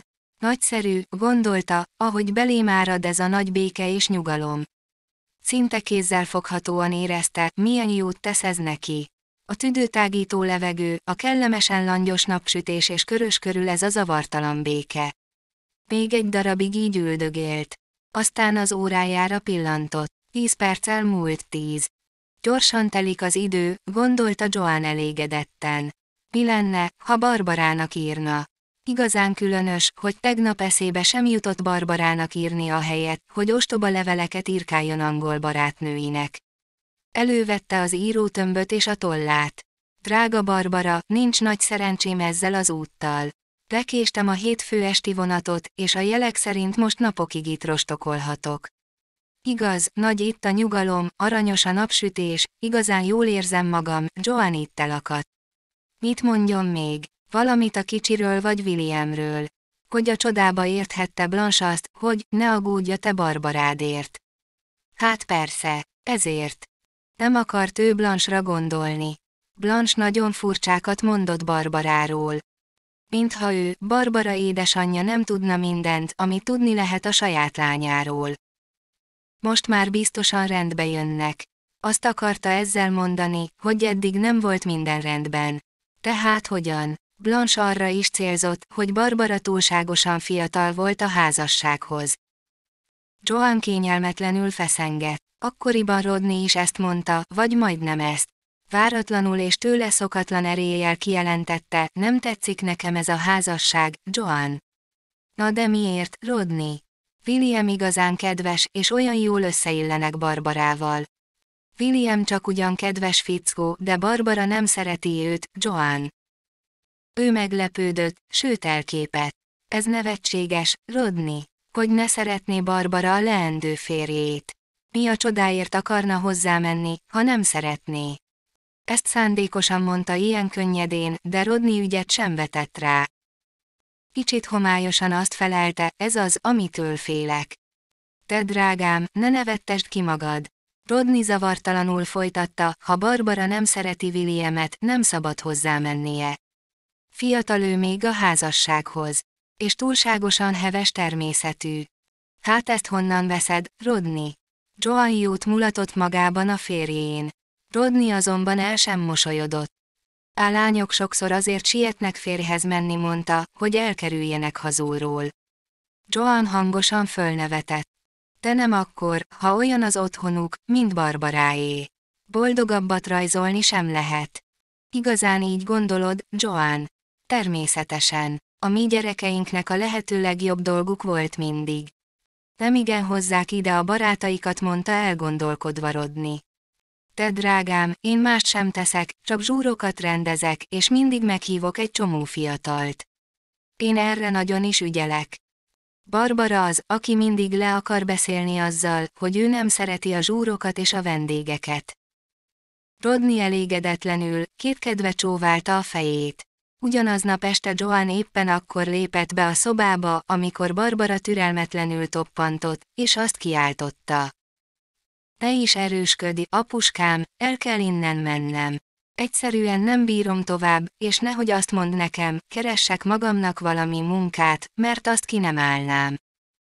Miről van szó? Tudakolta Joan. Barbara előbb hökkenten hallgatott, de gyorsan összeszedte magát, és kipirult arccal, kihívó hangon mondta. Apusz azt képzeli, ő jobban tudja, mint én. Azt szeretné, ha évekig jegyben járnék. De én megmondtam neki, ezt nem bírom tovább, igenis, hozzá akarok menni. Williamhez, és elkísérni őt Bagdadba. Azt gondolom, az nagyszerű lesz. Drágám, csak ne lenne olyan messze az a Bagdad. Joan hangja kicsit megremegett. Szeretnélek szemmel tartani és a közeledben lenni. Jaj, anya! Tudom, tudom, drágám, de nem adsz magadnak számot arról, milyen fiatal és tapasztalatlan vagy. Sokat segíthetnék neked, ha nem távoznál olyan messzire tőlünk. Barbara elmosolyodott. Nos, úgy látszik, egyedül kell majd elkormányoznom a kenumat, lemondva a te tapasztalatod és bölcsességed jó téteményéről. Rodney sarkon fordult, és lassú léptekkel az ajtó felé indult. Barbara hirtelen utána íramodott, a nyakába ugrott, és azt suttogta. Drága apuskám, te drága, drága, drága. Mi ütött vajon Barbarába? Mitől ilyen érzelgős? Csodálkozott Joan. De az minden esetre kiderült, hogy Rodney nagyot tévedett. Barbarát egyenesen gyönyörűséggel. Tölti el az a gondolat, hogy keletre mehet a férjével és milyen elbűvölő látvány két fiatal, aki így szereti egymást, és ennyire bízik a jövőjében. Furcsa, hogy Bagdadban lábra kaphatott az a gondolat, Barbara rosszul érezte magát otthon. De az a város igazi plegykafészek, tele álhírekkel, az ember fél bárkit név szerint emlegetni. Például Reidőr nagyot. Ő maga sosem találkozott Reidőr nagyjal, de Barbara gyakran említette hazaírt leveleiben. Az őrnagy náluk vacsorázott, téllövést gyakoroltak az őrnaggyal. Barbara a nyarat a hegyekben töltötte. Közösen bérelt bungalót egy másik fiatalasszonnyal. Reidőr nagy is ott nyaralt. Sokat teniszezett Barbarával. Később ők ketten megnyerték a klubban a vegyes párosok teniszversenyét. Mi sem volt tehát természetesebb, mint hogy Joan vidáman megkérdezze, mi van Reidőr nagyjal. Annyit hallott már róla, alig várja, hogy személyesen is megismerhesse. Egyenesen komikus volt a fiatalok reakciója. Barbara elsápadt, William elvörösödött, előbb nem szólt, aztán nagy nehezen kinyögte de milyen furcsa hangon, mostanában nem jár ide. Ez annyira elutasítóan hangzott, hogy Joannak nem volt kedve a kérdést tovább bolygatni. De később, amikor Barbara már lefeküdt, Joan visszatért a dologra. Alig ha nem beletenyereltem valamibe mondta mosolyogva. De azt hittem, Reidőr nagy jó barátotok. William felkelt, és kiverte a pipáját a kandalló rostéján. Hát, nem is tudom. Néha jártunk vele a lőtérre meg ilyesmi de most már hosszú ideje színét se láttuk. Nem valami ügyes, gondolta Joan. A férfiak olyan naívak. William régi módi diszkrécióján mosolyognia kellett. Nyilván azt képzeli az anyósáról, hogy kínosan pedáns és kissé prűdnő. Aha bólintott, holmi botrány, ezt hogy érti? Fordult felé William ingerülten. Drága fiacskám, mosolygott rá Joan, nem volt nehéz a modorodból kitalálni. Gondolom, kiderült valami róla, és ejtenetek kellett őt. Meg se kérdezem, mi derült ki. Ezek igen kínos ügyek. HM, igen, igaza van mondta lassan, vontatottam William. Csak ugyan nagyon kínosak. Az ember hajlamos másokat a szerint megítélni, amit ők állítanak magukról. Amikor végül kiderül, hogy tévedett, az roppant kellemetlen és feszélyező. Az a jó, hogy az őrnagy eltakarodott ebből az országból. Kelet-Afrikába ment. Ekkor jutott csak Joan eszébe, hogy tényleg, hallott ő valamit a klubban Nobi Reidről, aki Ugandába utazott. Szegény Nobi mondta egy nő, elvégre nem az ő hibája, hogy minden kis hülye fut utána. A másik idősebb nő kajánul felnevetett. Éppen eleget forgolódott ő is körülöttük. Harmatos ártatlanság, ez volt Nobi specialitása a gyanútlan asszonyka, és meg kell adni, kiváló volt a technikája.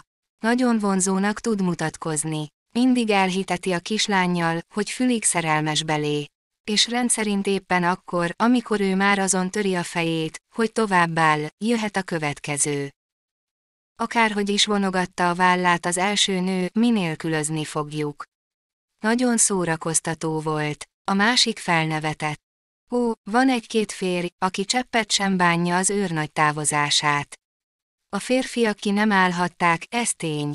Hát annyi biztos, nem maradhatott tovább, a kelleténél forróbb lett a lába alatt a talaj. Ekkor az idősebb nő rászólt csit, és suttogóra fogta a hangját, úgyhogy Joan egy szót sem hallott többé. Akkor nem tulajdonított jelentőséget az ellesett beszélgetésnek, de most, hogy újra előjött, kíváncsi lett. William láthatóan nem kíván beszélni az őrnagyról, de talán Barbara hajlandó rá. Ám amikor rákérdezett, Barbara kerekperec azt felelte emelt hangon. De haragudj, anya, de erről nem óhajtok beszélni. Ez rával, gondolta Joan, Barbara sosem akart bármiről is beszélni. Hihetetlenül érzékeny és elutasító volt például akkor is, amikor a betegségéről és annak okáról kérdezte. Holmi mérgezéssel kezdődött. Joan magától értetődően azt gondolta, ételmérgezés lehetett. A tomin mérgezés gyakori a meleg égő alatt. De sem Williamtől, sem Barbarától nem sikerült további részleteket megdudnia, még az orvos is elutasító volt és szófukar, akihez mind Barbara anyja fordult felvilágosításért. Főleg azt hangsúlyozta, hogy a fiatal Mrs. Teit nem szabad a betegségéről faggatni vagy arra ösztönözni, hogy azzal foglalkozzék. Most már csak arra van szüksége, hogy gondját viseljék, és megerősödjék. A miértek és minekek nagyon nem kívánatos vita témák, az efféle beszédcseppet sem tesz jót a betegnek. Pusztán erre akartam figyelmeztetni, Mrs. Scudamore. Kellemetlen, barátságtalan alak ez a doktor, gondolta Joan, és egyáltalán nem hatja meg anyai odaadásom, aminek pedig meg kellett volna hatnia. Hát nem rohantam Angliából ide az első hírre. Eh, annyi baj legyen. Barbara legalább hálás volt. Joan legalábbis úgy vélte. Minden esetre nagyon szépen megköszönte neki, hogy eljött. William is azt mondta, kedves volt tőle.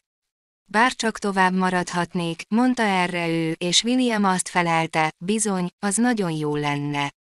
Amire ő azt mondta, ne erősködjetek, mert csak ugyan roppant nagy a kísértés, örömest eltölteném a telet Bagdadban, de végtére is tekintettel kell lennem Barbara édesapjára.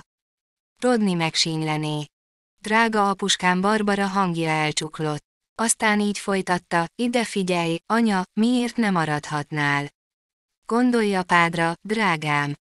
Amire Barbara szárazon azt felelte szokott néha így beszélni, ő éppen az apjára gondol, de Joan csak a fejét rázta. Nem, nem hagyhatom Rodnit a cselépségre. Volt egy pillanat, nem sokkal az elutazása előtt, amikor Joan kis hián megváltoztatta szándékát.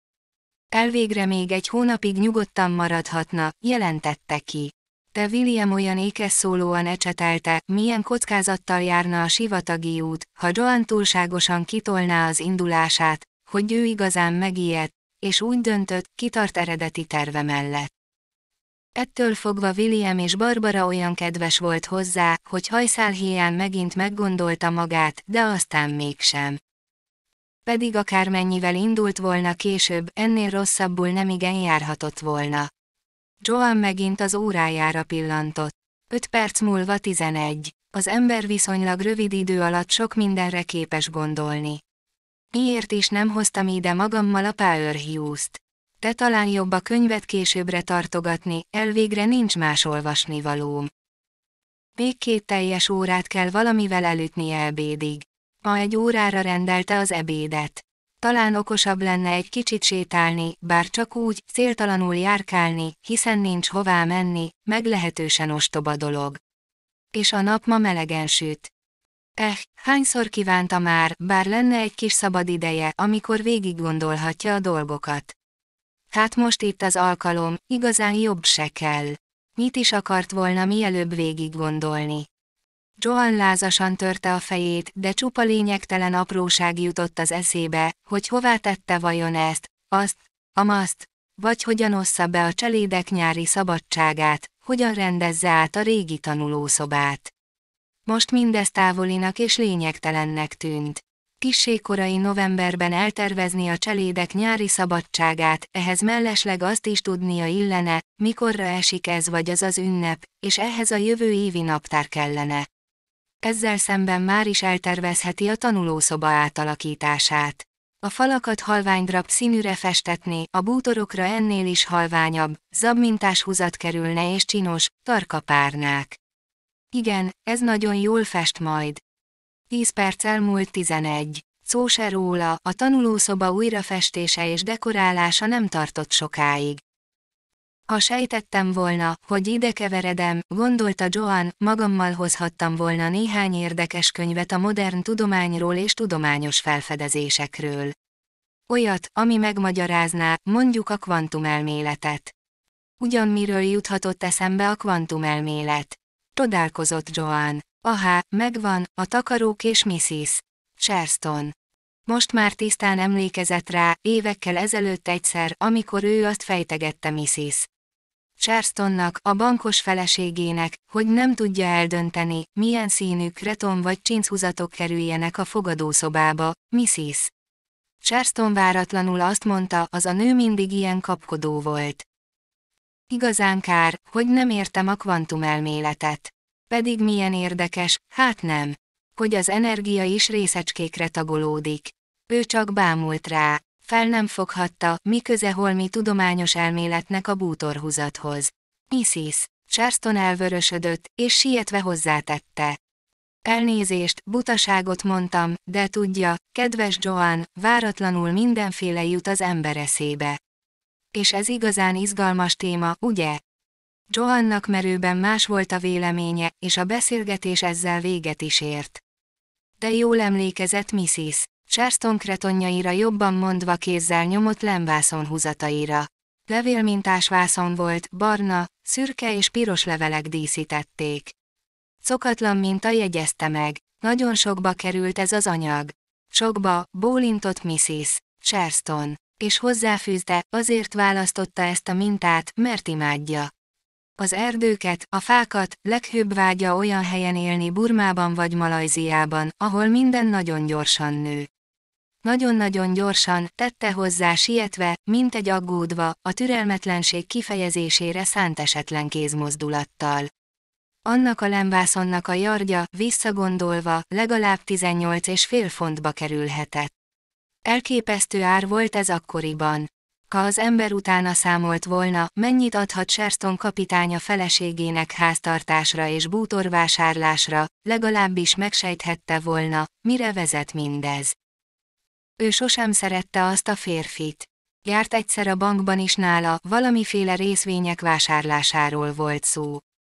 Sherston az íróasztala mögött ült, vele szemben. Nagy darab, temperamentumos férfi, akiből csak úgy áradt a kedélyesség. Megjátszotta a nagyvilági szeladont, mintha azt mondta volna, asszonyom, láthatja, ki vagyok, ne higgyen pénzcsinálógépnek. Teniszezem, golfozom, táncolok, bridgezem. Igazából az a fickó vagyok, akivel társas összejöveteleken találkozik, nem pedig hivatásos bankember, aki túllépés esetén letiltja a kliens csekkszámláját, egy nagy, felfújt hólyag, gondolta felháborodva Joan. És korrupt, kezdettől korrupt. Biztos már akkor elkezdte hamisítani a főkönyvet, és sikkasztott. Mégis mindenki szerette, igazán derék ember a mi Sherstonunk, mondogatták, egyáltalán nem olyan, mint más bankárok. Hát ebben történetesen igazuk volt. A bankárok általában nem szoktak sikkasztani. Leslie Sherstonnak minden esetre megmaradtak a lemvászon húzatai.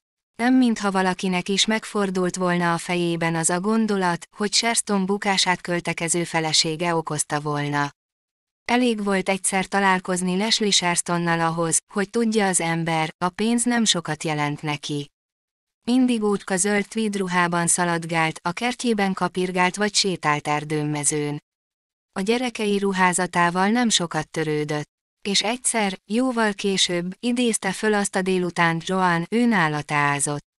Leslie Sherston fogott egy tálcát, rápakolt egy kenyeret, egy darab vajat, házi lekvárt, útka csészéket meg a teáskannát, és úgy hozta be a szobába. Itagadás, rendetlen, hanyagnő volt, de mindig vidám.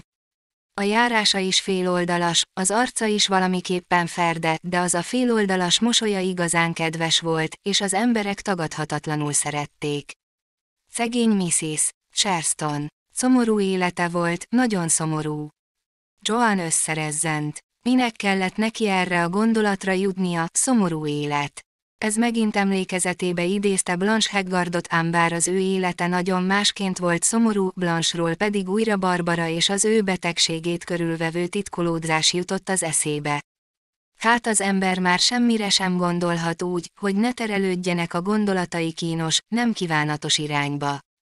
Újra, már sokat szor, az órájára pillantott. Minden esetre a kézi nyomású vászonnal és szegény Mrs. Charlestonnal majd fél óra telt el. Még mire gondolhatna? Valami kellemesre, zavaró mellékkörülmények nélkül. Alig ha nem rodni a legbiztosabb téma.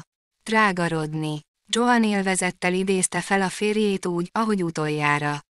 Látta őt a Viktória pályaudvaron, ahol elbúcsúztak egymástól, mielőtt a vonat kigördült volna az állomásról. Igen, a drága Rodni. Ott állt a peronon, felnézett rá, és a napsütés könyörtelenül feltárta a szeme sarkában gyülekező kis ráncokat. Milyen fáradt volt a pillantása. Igenis fáradt és nagyon-nagyon szomorú. Nem mintha Rodni igazán szomorú lenne, tette hozzá sietve gondolatban. Éppen csak az arcberendezése ilyen. Bizonyos állatoknak is mélabús a tekintetük.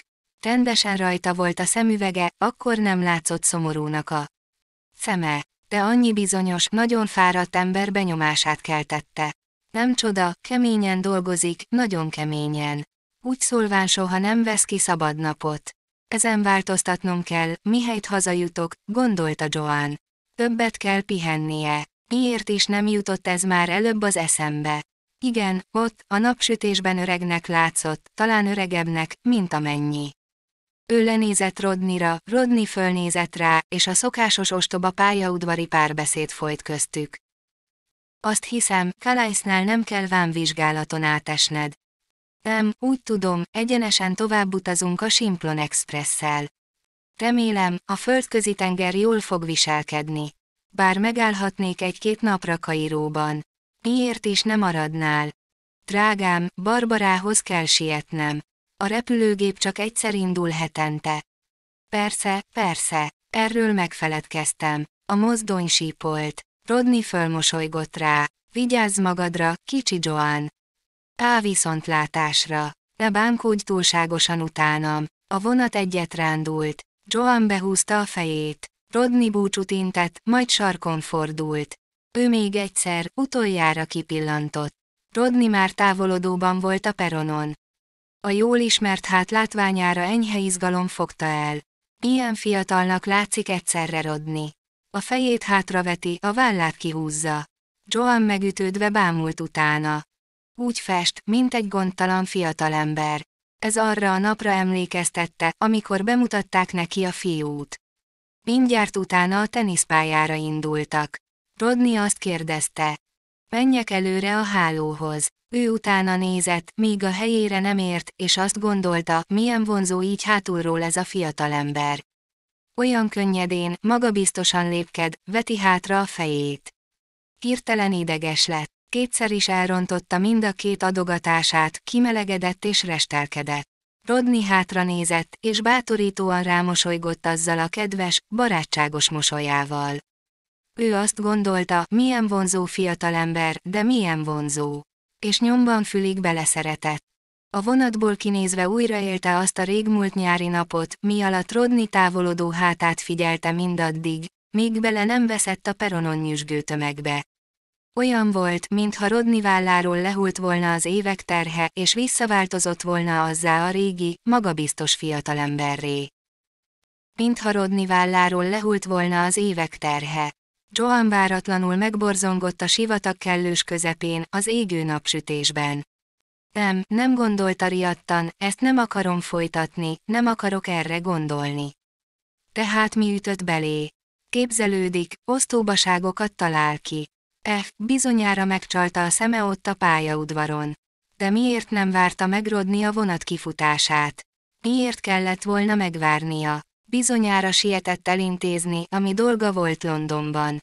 És sokan nem szeretik végignézni a vonat kifutását, ha egy szívüknek drága lényt visz magával. Nem emlékezhet senki olyan tisztán bármire, mint ő arra, hogy festett Rodni háta. Csak képzelődik. Megálljunk, így még rosszabb. Az ember csak akkor képzeli ilyet, ha már előbb ott bujkált a tudata mélyén a gondolat. És az nem lehet igaz a következtetés, amire jutott, egyszerűen nem lehet igaz. Ó, akkor azt mondta magában, vagy mégsem, Rodni örül annak, hogy én elutazom. És ez nem lehet igaz. Negyedik fejezet. Joan alaposan kimelegedve érkezett vissza a fogadóba önkéntelenül meggyorsította lépteit, hogy minél messzebb jusson iménti kínos gondolatától. A hindu kíváncsian fürkészte, és megjegyezte, Memszáhib nagyon gyorsan megy. Minek gyorsan menni? Itt van sok idő. Jaj, Istenem, sóhajtott magában Joan, sok időm van, csak ugyan. A hindu, a fogadó, a tyúkok, a konzervdobozok, a szöges drót határozottan kezdtek az idegeire menni felment a szobájába, és előkereste a Power Hughes-t legalább hűvös van és sötét, gondolta. Felütötte a könyvet, és olvasni kezdett. Ebédig a felét kiolvasta. Ebédre szokás szerint rántotta volt, babfőzelékkel körítve, utána egy tál meleg lazac rizssel és sárga barack konzerv. Joan csak turkált az ételben. Ebéd után a szobájában lefeküdt. A szemét is behunda, de nem sikerült elaludnia. Szokatlanul ébernek és okosnak érezte magát. Felkelt, bevett három aspirint, aztán visszafeküdt. Ahányszor behunta a szemét, Rodni hátát látta, ahogy távolodik a peronon. Elviselhetetlen volt. Félrehúzta a függönyt, hogy egy kicsit világosabb legyen, és újra elővette a Power Hughes-t. Pár oldallal a vége előtt álomba merült. Azt álmodta, hogy teniszversenyen indul Rodnival. Előbb nem találták a labdákat, de végre eljutottak a pályára. Amikor adogatni kezdett, kiderült, Rodni az ellenfele a Randolph lányjal együtt. Minden adogatását elrontotta. Rodni majd segít rajtam, gondolta, de ahogy fölnézett, sehol sem látta. Mindenki elment már a pályáról, sötétedett. Egyedül vagyok, egészen egyedül, állapította megriadtan. És erre felriadt. Egészen egyedül vagyok, mondta hangosan. Még az iménti álom hatása alatt állt. És úgy rém lett neki, az előbb kimondott szavak roppant ijesztőek. Megint elmondta. Egészen egyedül vagyok. A hindu feje megjelent az ajtóban. Nem száhib, hívott, kérdezte. Igen felelte Joan, teát kérek. Nem száhib teát kér, csak három óra van, akkor is teát kérek. A hindu elment, Joan hallotta távolodó lépteit, majd a hangját. Azt kiáltotta. Csaj, csaj! Kikelt az ágyból, és a létpiszkos tükör elé lépett. Megnyugtató volt saját normális, kellemes arcát megpillantani. Mondd csak, nem vagy te beteg? kérdezte a tükörképétől. Nagyon furcsán viselkedsz. Talán tényleg enyhe napszúrást kaptam. Mire a teát meghozták, már újra egészségesnek érezte magát. Valójában ez az egész ügy több, mint különös. Ő, Joan Scudamore, mint az idegei játékszere. Eh, nem az idegeiről van szó, napszúrást kapott, és kész. Nem lép ki addig a házból, míg a nap le nem megy. Megívott két csésze teát, elrákcsált hozzá egy kis kekszet. Aztán elővette a könyvet. Amikor a végére jutott, aggodalom fogta el. Nincs több olvasnivalóm, gondolta. Nincs mit olvasnia, nincs több papírja, tintája, és kézi munkát sem hozott magával. Amikor a hindu megjelent, hogy elvigye az üres tálcát, Johanna azt kérdezte tőle. Maga mit csinál egész nap? A hindut láthatóan meglepte a kérdés.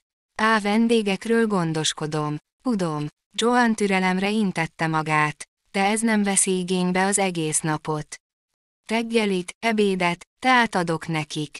Nem így értettem. Vannak munkatársai is. Arab fiú nagyon buta, nagyon lusta, nagyon piszkos.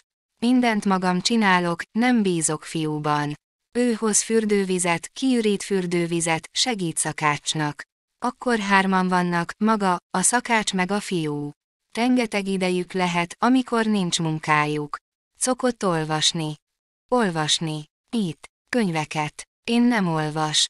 Mit csinál, amikor nincs munkája? Én várok, míg lesz munkám. Nem megyek vele semmire, gondolta Joan. Ezekkel nem érdemes beszélni. Meg sem értenék. Ez az ember örökké itt van, sok-sok hónapon át. Gondolom, olykor kap pár nap szabadságot, beruccan a városba, lejsza magát, vagy a barátaival találkozik. De hétről hétre itt van, hétvégeken is. Persze, itt van neki a szakács meg az arab fiú. A fiú a napon heverészik és alszik, amikor nincs munkája. Nem megyek velük semmire, egyikkel sem. Ez a hindu is csak annyit gagyog angolul, enni, inni, szép az idő. A hindu távozott. Joan nyughatatlanul járt fel alá a szobában. Nem szabad elveszítenem a fejemet. Tervet kell készítenem, megállapodni magammal bizonyos gondolati irányban. Nem engedhetem meg magamnak, hogy ennyire megzavarjon ez a helyzet. Az az igazság, hogy eddig mindig olyan teljes volt az élete, olyan sok az elfoglaltsága. Ha az ember ennyire kiegyensúlyozottan és jó beosztással élt egész életében, magától értetődően tanácstalanná válik, mihelyt nincs mit csinálnia, és kénytelen haszontalanul tölteni a napjait. Minél hasznosabb és kulturáltabb valaki, annál nehezebb ilyenkor a dolga. Vannak persze olyan emberek, még otthon, Angliában is, akik képesek órák hosszat ölbetett kézzel üldögélni. Ők feltehetően könnyen elviselnék ezt a tétlen életformát. Még Mrs. Charlestonnal is megesett noha máskülönben olyan aktív és energikus volt, hogy az kettőnek is sok lett volna, hogy csak üldögélt, és nem csinált semmit. Rendesen. Akkor, amikor rájött a sétálhatnék. Rohamtempóban sétált, aztán hirtelen lerogyott egy fatörzsre, egy füves hantra, és csak ült ott, távolba révedő tekintettel. Mint akkor is, amikor ő azt hitte, a Randolph lányulott. Joan, ahogy akkori viselkedésére visszagondolt, enyhén elpirult. Nagyon olyan volt, mintha Rodney után kémkedne. Egy kicsit szégyelte ő ezt már akkor is. Mert valójában nem az a fajta nő. Igen, de ha egy lány olyan, mint Mirna Randolph. Az a lány hiány volt minden erkölcsi érzéknek. Joan azon törte a fejét, hogy is jutott elő a kémkedésig. Éppen virágot vitt az öreg Mrs. Garnetnek. Amint az öregasszony háza kapuján kilépett, meghallotta Rodni hangját. A sövényen túlról jött, az útról. És egy női hang válaszolt neki valamit. Gyorsan elköszönt Mrs. Garnettől, és kisietett az útra. Rodney akkor fordult be éppen az Eseldaunba vivő ösvényre. Egy nő volt vele, Joan esküdni mert volna, a Randolph lány az. Hát nem lehet büszke arra, amit eztán tett. De akkor úgy érezte, bármi áron meg kell tudnia az igazságot. Hiszen nem Rodni hibája mindenki tudta, ki és miféle Mirna Randolph. Joan arra az ösvényre tért rá, amely az erdőn át az Eseldowni kopár hegyhátra vitt fel. Rögtön meglátta őket. Mindketten mozdulatlanul ültek, és lebámultak az alattuk elterülő, napsütötte lankára. Mekkora volt a megkönnyebbülése, amikor látta, a nő nem Mirna Randolph, hanem Mrs. Sherston, és egyáltalán nem ül közel Rodneyhoz. Legalább négy láb van köztük. Egyenesen nevetséges, és cseppet sem barátságos dolog ilyen távol ülni egymástól. De ha Leslie Sherston igazán nagyon kedves teremtés volt is, érzelmesnek senki nem nevezhette. No és csábító szirénnek se nézhette őt senki, komikus lett volna ilyet még csak gondolni is. Nem, nem, Leslie egyszerűen csak sétálni indult, ahogy szokott, útközben összefutott Rodnival, aki, amilyen kedves és udvarias, felajánlotta, hogy elkíséri őt. Most, hogy megmásztak az Eseldowni hegyet, egészen a gerincig, leültek egy kicsit pihenni és a kilátásban gyönyörködni, mielőtt hazaindulnának. Ami igazán meglepő, az az, hogy csak ülnek, ülnek, mozdulatlanul és némán. Ez nem valami barátságos részükről, gondolta Joan. Ó, bizonyára van minimum gondolkodniok. És úgy érzik, elég jó ismerősök ahhoz, hogy ne kelljen mindenáron társalogniuk. Mert eddig Reszkudamórék sokkal meghittebb viszonyba kerültek Leslie Sherstonnal. Bombaként robbant a meghökkent kréminsterben Sherston sikkasztásának a híre. Charleston-t el is ítélték, és megkezdte börtönbüntetését. Védőügyvédje a per folyamán Rodney volt, és ő képviselte Leslie érdekeit is. Mindenki hajlamos lett volna nagyon sajnálni Mrs. Charleston-t, és ha mégsem sajnálták annyira, az csak is Leslie Charlestonon múlt. Egyeseket meg is botránkoztatott elszánt jókedve. Leslie alig, hanem kicsit érzéketlen mondta Joan Rodninak. Leslie Sharstonba több bátorság szorult, mint bárkibe, akivel élete során találkozott, felelte kicsit ingerülten Rodni. Bátorság, az van benne bólintott Joan. De nem a bátorság a legfontosabb. Csak ugyan, mondta rá Rodni, elég furcsa hangon, és kirohant az irodájából. Senki nem vitathatta el Leslie Sharstontól ezt az egy erényt, a bátorságot. Váratlanul szakadt rá a maga és két kisgyermeke eltartásának a gondja, s noha semmiféle szakmája nem volt, megbirkózott a feladattal. Elszegődött egy piacra termelő kertészhez, hogy kitánulja a szakmát. Erre a rövid időre elfogadott egy csekély támogatást a nagynényétől, és albérletbe költözött a két gyerekkel. Mire Sherston kijött a börtönből, a felesége már tökéletesen berendezkedett a világ másik részén, ahol gyümölcsöt és konyhakerti növényeket termesztett eladásra. Sherston szállította az árut a közeli városba teherautón, a gyerekek is segítettek, és így valahogy megélt a család, nem is rosszul. Mrs. Sherston kétségkívül hősiesen dolgozott, ami annál inkább elismerésre méltó tett volt a részéről, mert alig hanem már ekkor megkezdte akna munkáját a testében az a fájdalmas betegség, amely végül megölte. Hát igen, gondolta Joan, bizonyára szerette a férjét. Mr. sherston általában jóképű férfinak tartották, a nők kedvencének. Mire kijött a börtönből, megváltozott a külseje. Joan csak egyszer találkozott vele, de a változás megdöbbentette. A férfi arca pegyhűt volt, a tekintete bujkáló, de a modora most is hencegő, most is nagyot mondásra és hirtelen haragra hajlott. Korábbi lényének csak roncsa. A felesége mégis szerette, és kitartott mellette, amiért Joan őszintén tisztelte Leslie Sherstont. Másfelől úgy vélte, Leslie nagyon helytelenül döntött a gyerekei dolgában. Az a nagynéni, aki pénzzel segítette, amikor Sherstont elítélték, újabb ajánlattal hozakodott elő, mielőtt Sherstont szabadlábra helyezték volna. Ő szívesen örökbe fogadná a kisebbik fiút, így a nagynéni és a nagybácsi, akinek ő a lelkére beszélt, vállalná az idősebbik fiú iskoláztatásának a költségeit. Az ünnepeket a gyerekek nála tölthetnék. A nagybácsi hozzájárult, hogy felvegyék az ő nevét, ami meg a gyerekek jövőjét illeti, ők ketten hajlandók anyagilag gondoskodni róluk. Leslie Sharston a leghatározottabban elutasította az ajánlatot. Ez Joan szerint önző lépés volt részéről.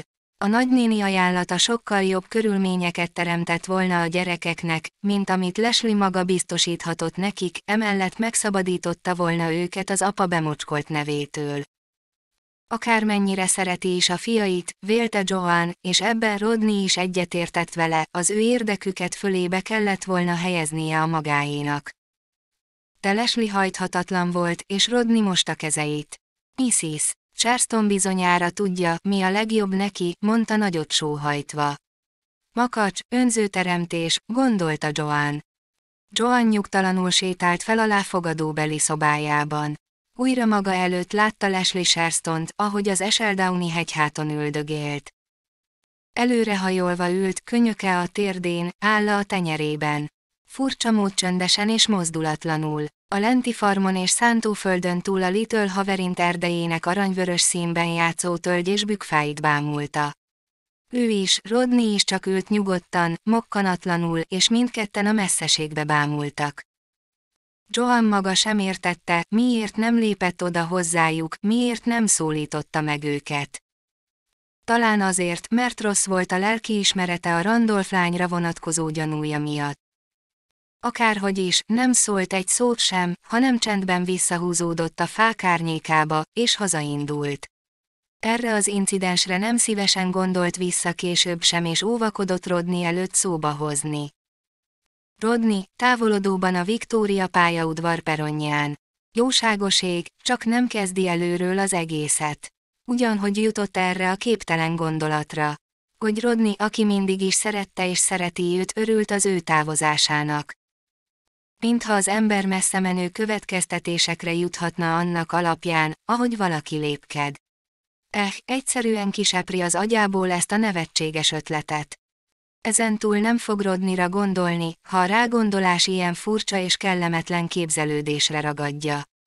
Pedig mind a mai napig nagyon távol állt tőle a képzelődés. Csak a tűző nap lehet az oka. Ötödik fejezet. A délután és az este félelmes lassan telt el. Joannak nem volt kedve addig a házból kilépni, míg a nap le nem bukik a látóhatár peremére. Tehát a fogadóban üldögélt. Vagy fél óra elteltével úgy érezte, megbolondul, ha továbbra is itt ül, és nem csinál semmit. Felment a hálószobájába, és nekiált ki és átcsomagolni a holmiát. A ruhái nincsenek rendesen összehajtogatva, magyarázta magának. Majd szépen rendbe teszi az egészet. Alapos és takaros munkát végzett. Közben öt óra lett. Most már bizonyára nyugodtan kimehet a házból. Olyan nyomasztó a fogadó. Csak lenne valami olvasnivalója. Vagy ha más nem, gondolta kétségbe esetten, legalább egy ördöglakat. Kintundorral mérte végig a konzervdobozhalmot, a tyúkokat és a szöges drótot. Szörnyű ez a hely, kibírhatatlan. A változatosság kedvéért ezúttal a vasúttal és a török határral párhuzamosan haladt. Előbb kellemesnek érezte az új környezetet. De negyed óra múltán ugyanúgy hatott rá, mint a sivatag. A vasúti símpár, amely tőle negyed mérföldnyi távolságban, jobb felől futott, nem keltette a társaság illúzióját. Mindenütt csak csend néma csend és napsütés. Talán verset szavalhatnék, jutott hirtelen eszébe. Mindig azt tartották róla, hogy nagyon jól szaval és olvas föl verseket. Érdemes kipróbálni, mire és mennyire emlékszik annyi év távlatából. Valamikor egész csomó verset tudott könyv nélkül. A kegyelem nem erőltetve jő, szelídesőként permetez az égből. Mi is a következő sor?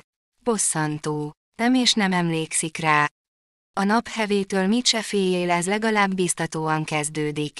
De hogyan folytatódik? Nem árthat néked hős hideg télhíz dolgaiddal elkészültél, béred megkaptad, hazatértél. Színarany ifjú lány legényporrá leszélte éjjelén. Hát egészében nem éppen vidám. Fel tudja vajon idézni a szonetteket. Legalább egyet. Valaha többet is tudott. A hűlelkek nászát meg azt, amelyiket Rodni mondatott el vele. De furcsa is volt Rodni aznap este.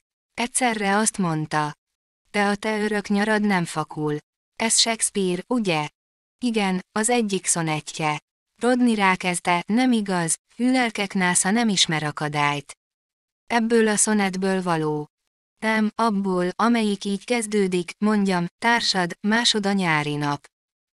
És elszavalta Rodninak az egész szonettet, igazán szépen, kellő érzéssel és jól hangsúlyozva de Rodni nem dicsérte meg a szavalatot, csak elismételte, elgondolkodva, hisz a május mézbimbaira vad szélcsap, de most október van, vagy nem. Ez a megjegyzés olyan furcsa volt, hogy ő csak bámult Rodnira.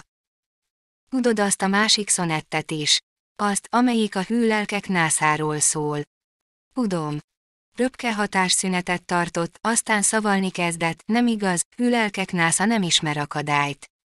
Szerelem a szerelem, amely hőfokot más hőfok szerint nyer vagy árapályt játszik készségesen.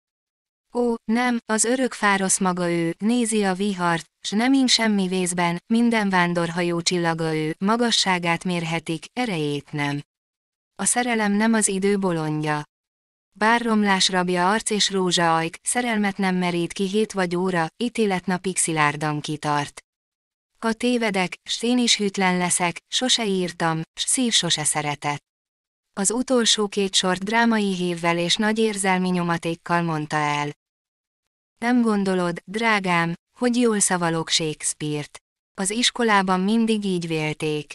Azt mondták, nagyon kifejezően olvasok fölverseket. De Rodni szórakozottan azt dünnyög, de nincs szükség kifejező szavalatra. A szavak magukban is megteszik.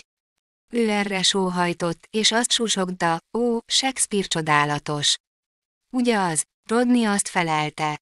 Ami igazából csodálatos, az az, hogy épp oly szegény ördög volt, mint mi, többiek. Rodney, de különös, amit mondasz. Rodney ekkor úgy mosolygott rá, mintha álmából ébredne. Csak ugyanolyan különös. Felállt, és lassan kifelé indult, menet közben a szonet két sorát mormolva hisz a május mézbimbaira vad szélcsap, s túl rövid a nyárbérlete.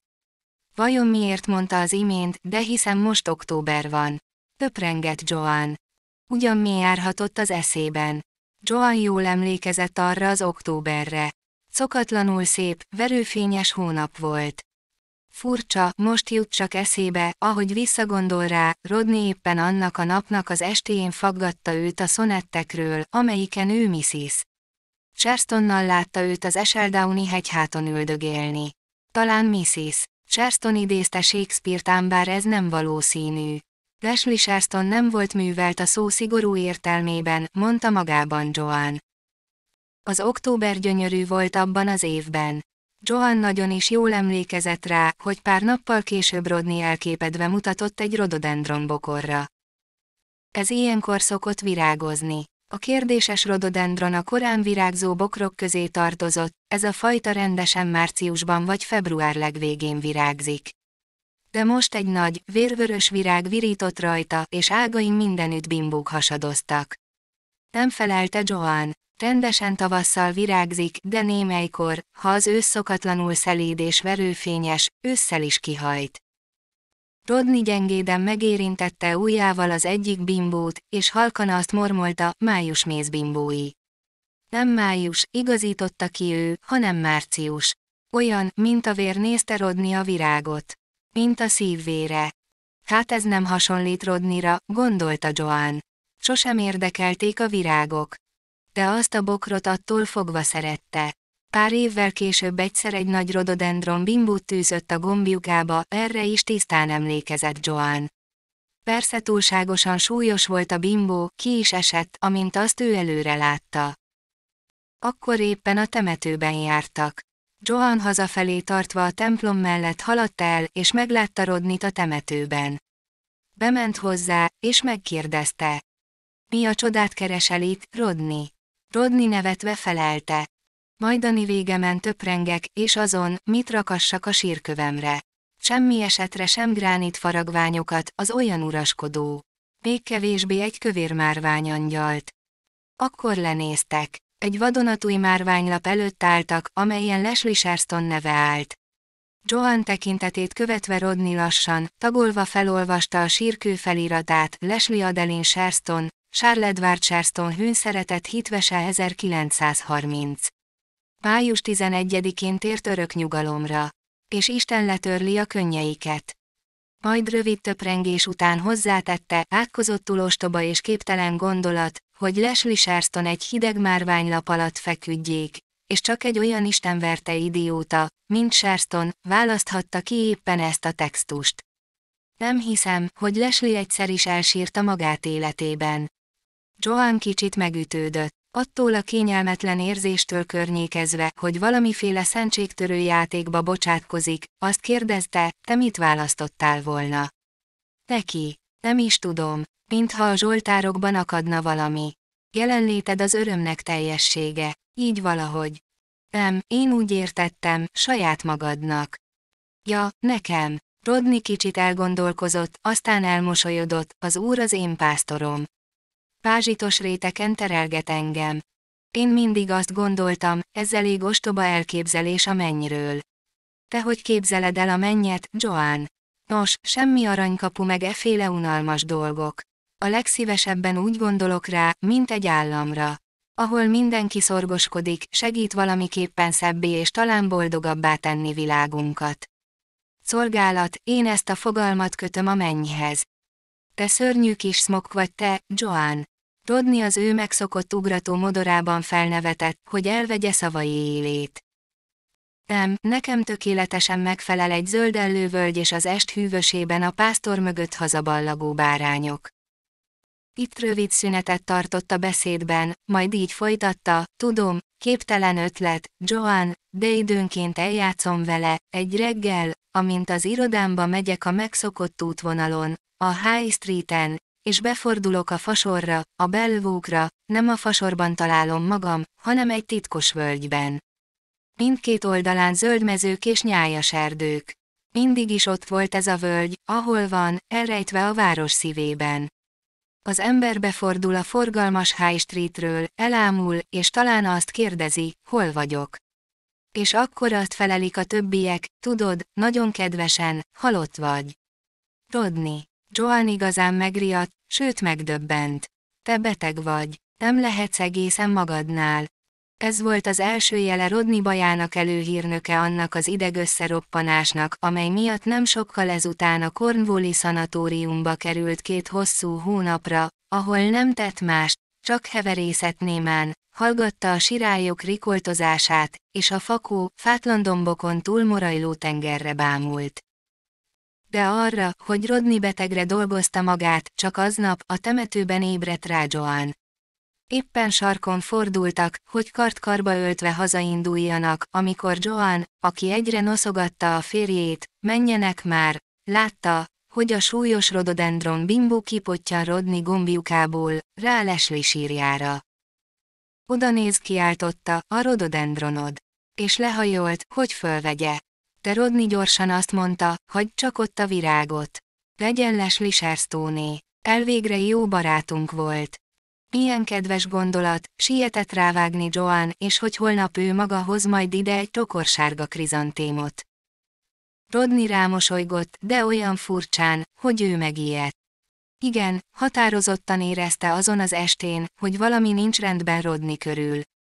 Azt persze nem is sejtette, hogy Rodni egy súlyos idegösszeroppanás előtt áll, azt azonban tudta, hogy valamiképpen előtt a viselkedése a szokásostól.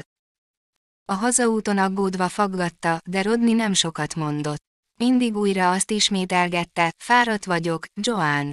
Nagyon fáradt, és egyszer ezt az érthetetlen félmondatot fűzte hozzá, nem lehetünk mindannyian bátrak. Úgy egy héttel később egy reggel aztán álmosan kijelentette.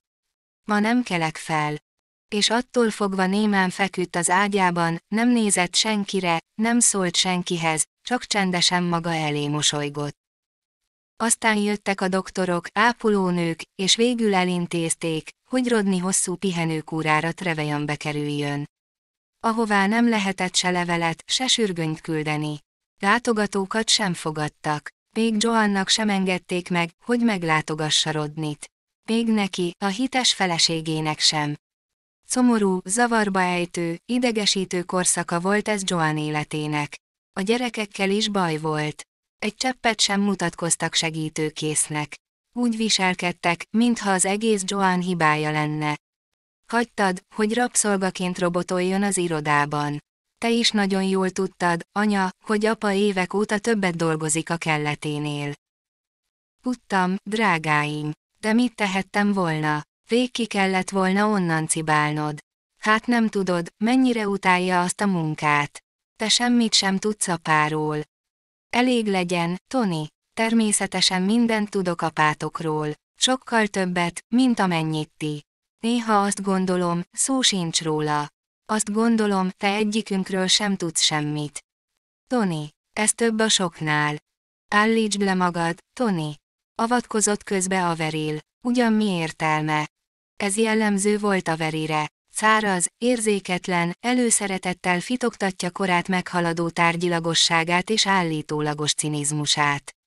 Averilnek mintha nem is lenne szíve, gondolta Joan elkeseredve. A kislány írtózott a becézéstől, és ha jobbikényére appelláltak, az nyom nélkül lepergett róla.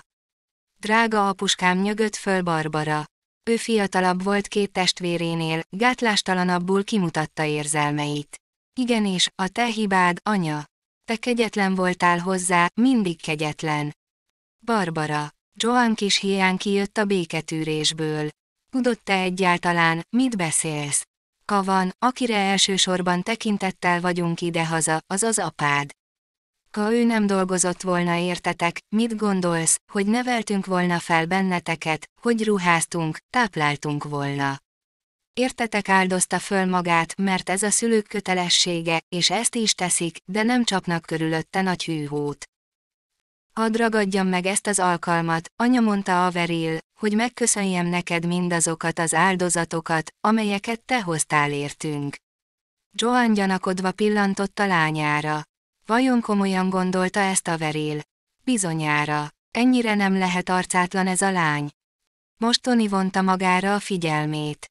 Azt kérdezte nagyon komolyan, ugye igaz, anya, hogy apa annak idején farmer akart lenni. Farmer, nem, dehogy, illetve ha jól emlékszem, sok évvel ezelőtt talán. Amolyan fiatalkori hóbort volt. A családban hagyományos az ügyvédi mesterség. Az iroda családi. Vállalkozás, és mondhatom, nagyon jó hírű Angliának ezen a részén. Büszke lehetnél rá, Tony, és örülnöd kéne, hogy te is oda fogsz belépni. Én ugyan nem, anya. Kelet-Afrikába készülök, és gazdálkodni akarok.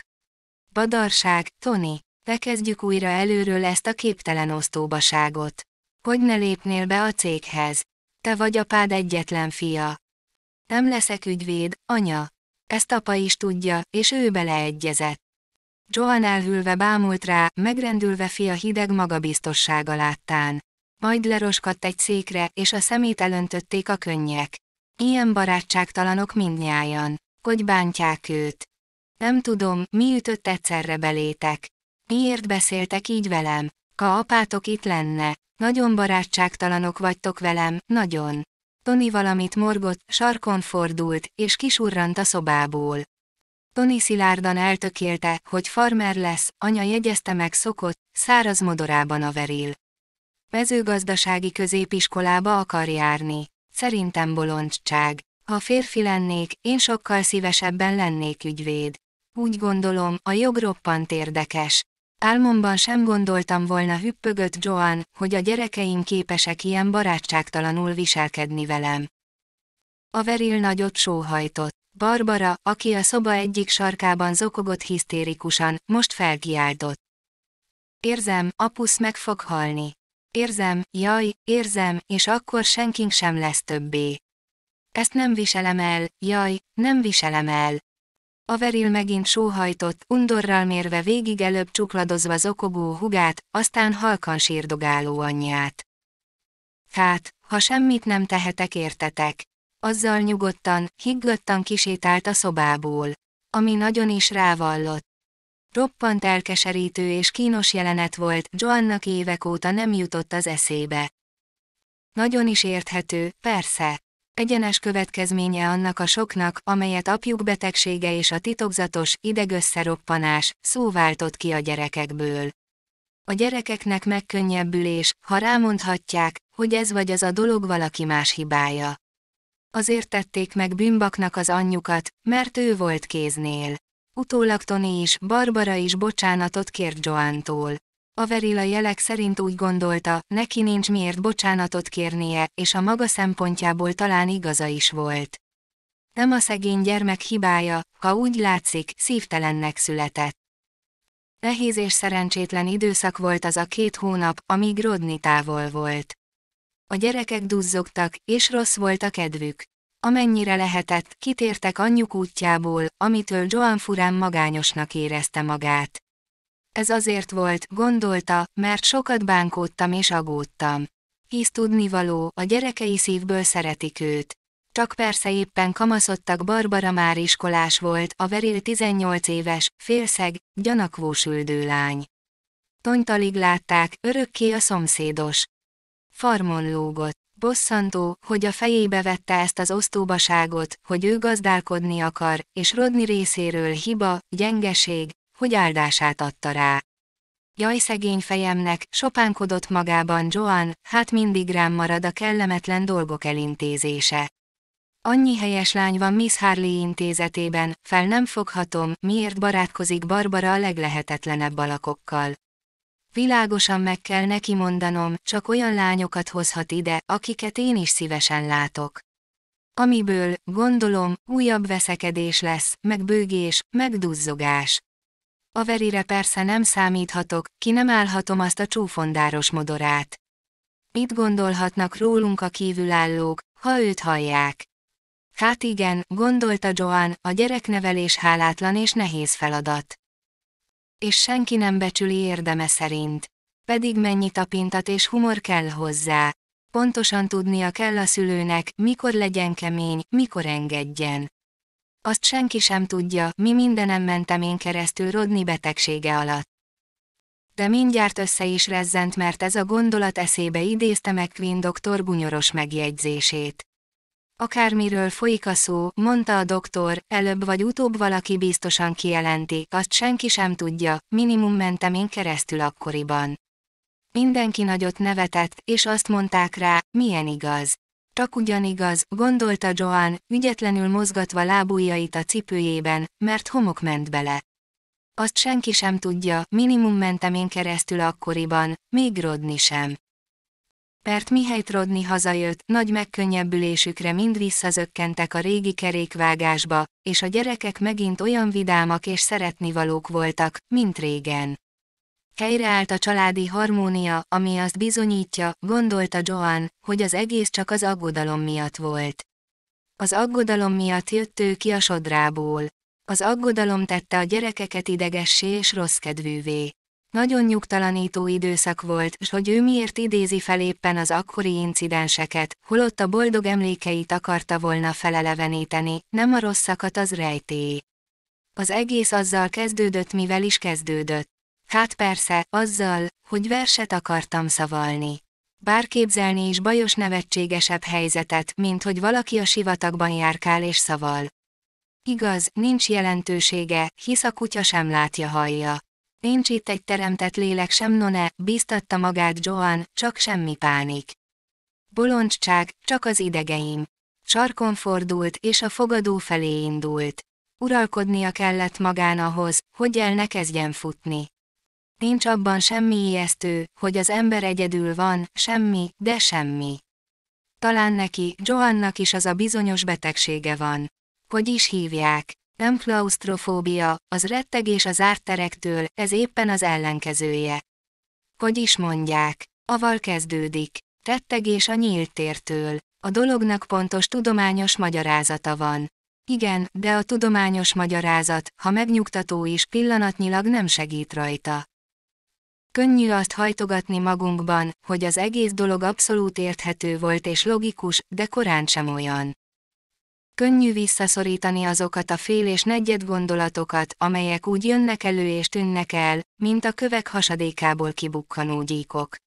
Birna Randolph, gondolta Joan, úgy jött elő, mint egy kígyó a többi ügy meg úgy, mint a gyíkok. Tág és nyílt terek, ő egész életében egy skatujában élt. Igenis, egy skatujában játékgyerekekkel és játékférjel. Ej, miket beszélsz, Joan, korholta önmagát, hogy lehetsz ilyen eszement. A gyerekeid nagyon is valóságosak. Igaz, a gyerekek valóságosak, a szakácsnő is az Ágnes is és Rodni is. Akkor talán én nem vagyok valóságos. Én csak egy játékfeleség vagyok, és persze játékanya. Hát ez szörnyű. Kezdek félrebeszélni. Talán mégis jobb lenne szavalni. Csak van olyan vers is, amire emlékszem és hangosan, aránytalanul hangosan rákezdte, távol telt tőled tavaszom, midőn. De nem és nem jutott eszébe a folytatás. És mintha nem is akarta volna folytatni. Elég ez az egy sor is. Mindent megmagyaráz, mindent, gondolta Joan. Rodni, Rodni. Távol telt tőled tavaszom, csak hogy most nem tavasz van, hanem november. És hirtelen belevágott a felismerés hiszen pontosan ezt mondta Rodni is azon az estén. Van itt valahol egy összefüggés, egy nyom, ki tudja, hová vezető nyom, amely rá, Joanra vár, a csönd mögé rejtőzve. És most ébredt csak rá, ettől a valamitől akart elmenekülni. De hogy menekülhessen el az ember, ha mindenütt gyíkok ütik fel a fejüket. Mennyi minden van, amire nem tanácsos gondolni, Barbara, Bagdad, Blanche mind bével kezdődik, befurcsa. No megrodni a Viktória pályaudvar peronján. Averil, Tony és Barbara barátságtalan viselkedése. Tehát miért nem tudok inkább arra gondolni, ami jó és szép volt. Annyi gyönyörű emlékem van pedig. Annyi, de annyi. A szép menyasszonyi ruhája gyöngyházfényű szaténból. A kosárgájában, csupa muszlin és rózsaszín szalag, milyen kedves, egészséges baba volt és milyen csendes. Averil mindig udvarias, jól nevelt gyerek volt.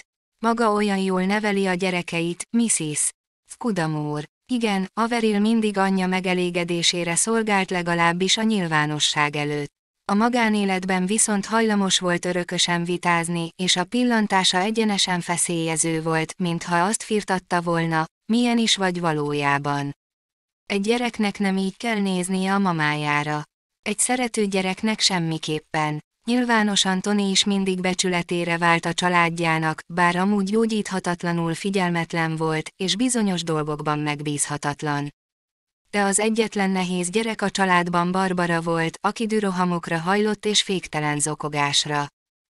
Egészében véve mégis mind a három elragadó, jómodorú, jól nevelt gyereknek volt mondható. Nagy kár, hogy a gyerekek felnőnek. Akkor kezdődnek a bajok. De nem, nem akarok erre gondolni. Inkább a gyerekkorukra. Averire, tánciskolás korában, abban a szép, habos rózsaszín ruhájában. Vagy Barbarára. Milyen aranyos volt abban a csinos kis kötött ruhácskában. Vagy tonyra a bonyolult mintás kezes lábasában, amelyet a fürgeújú dadus kötött neki. Talán mégis tudnék okosabbra is gondolni, mint a gyerekeim ruháira, bosszankodott Joan. Valami bájos, gyengébb dologra, amit neki mondtak. Vagy különösen meghit, szívmelengető együttlétekre.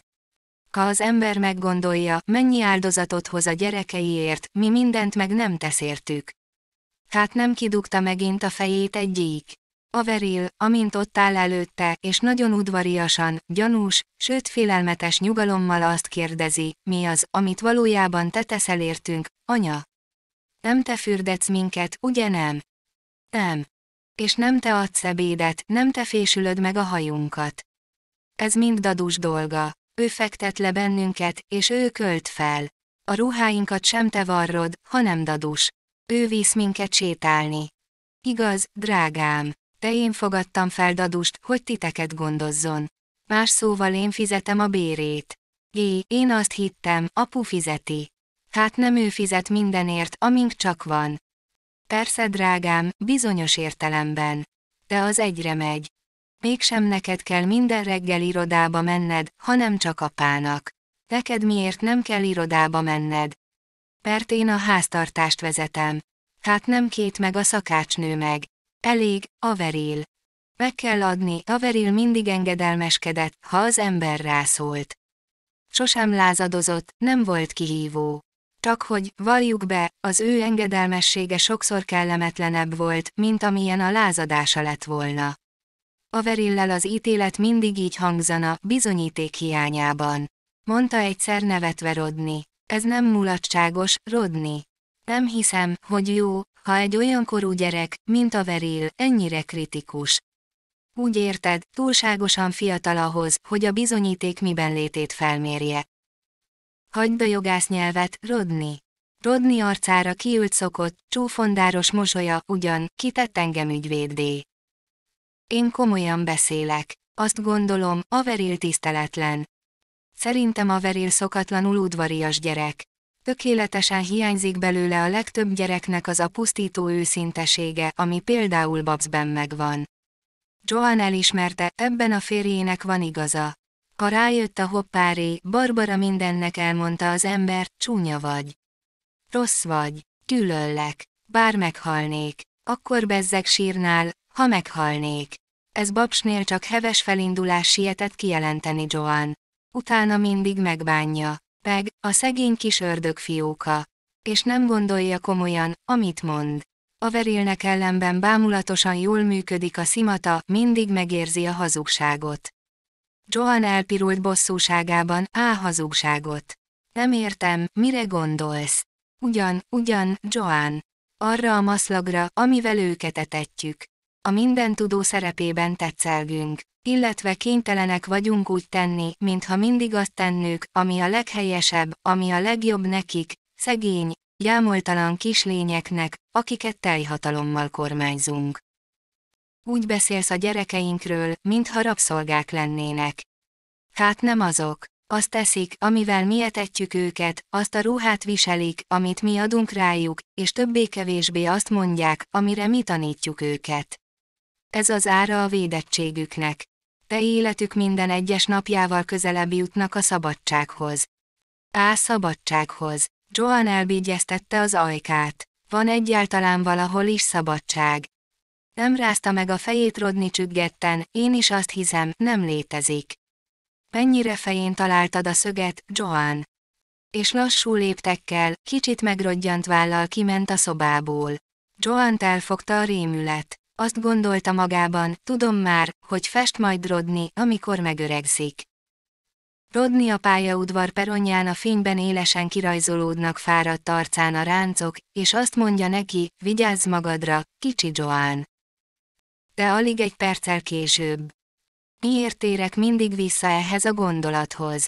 Nem is igaz, ő igenis nagyon hiányzik Rodninak. Nyomorultul érzi magát egyedül a házban a cselédséggel és bizonyára eszébe sem jut vacsora vendégeket hívni vagy ha mégis, hát legfeljebb azt az ostoba Hargrave Taylort, aki maga a megtestesült unalom, Joan fel nem foghatta, mit szeret rajta rodni. Vagy azt a kiállhatatlan Mills nagyot, aki másról sem tud beszélni, mint legelőkről és tehenekről. Hogy ne hiányozna ő Rodninak. Hatodik fejezet.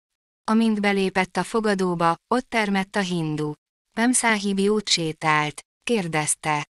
Nagyon jót felelte Joan. Vacsora hamar kész. Nagyon finom vacsora, Memszáhib. Ezt örömmel hallja, így Joan, bár, mint utóbb kitűnt, a hindu megjegyzése inkább a szokásnak felelt meg, mint a valóságnak, a vacsora ugyanis pontosan az volt, ami eddig mindig, csak őszi barackkal végződött sárga barack helyett. A vacsora után korán lett volna lefeküdni. Miért is nem hoztam magammal kicsit több könyvet, vagy legalább kézi munkát, gondolta Joan elkeseredetten, már vagy századszor. Megpróbálta újra elolvasni Lady Catherine Dysart emlékezéseinek legmulatságosabb passzusait, de a kísérlet kudarcba fulladt. Csak lenne valami dolgom, gondolta Joan. Bármi megtenné, egy kártyapakli is. Vagy valami játék, triktrak, sak, dáma játhatna saját maga ellenében. De bármi más is, halma, harangkalapács.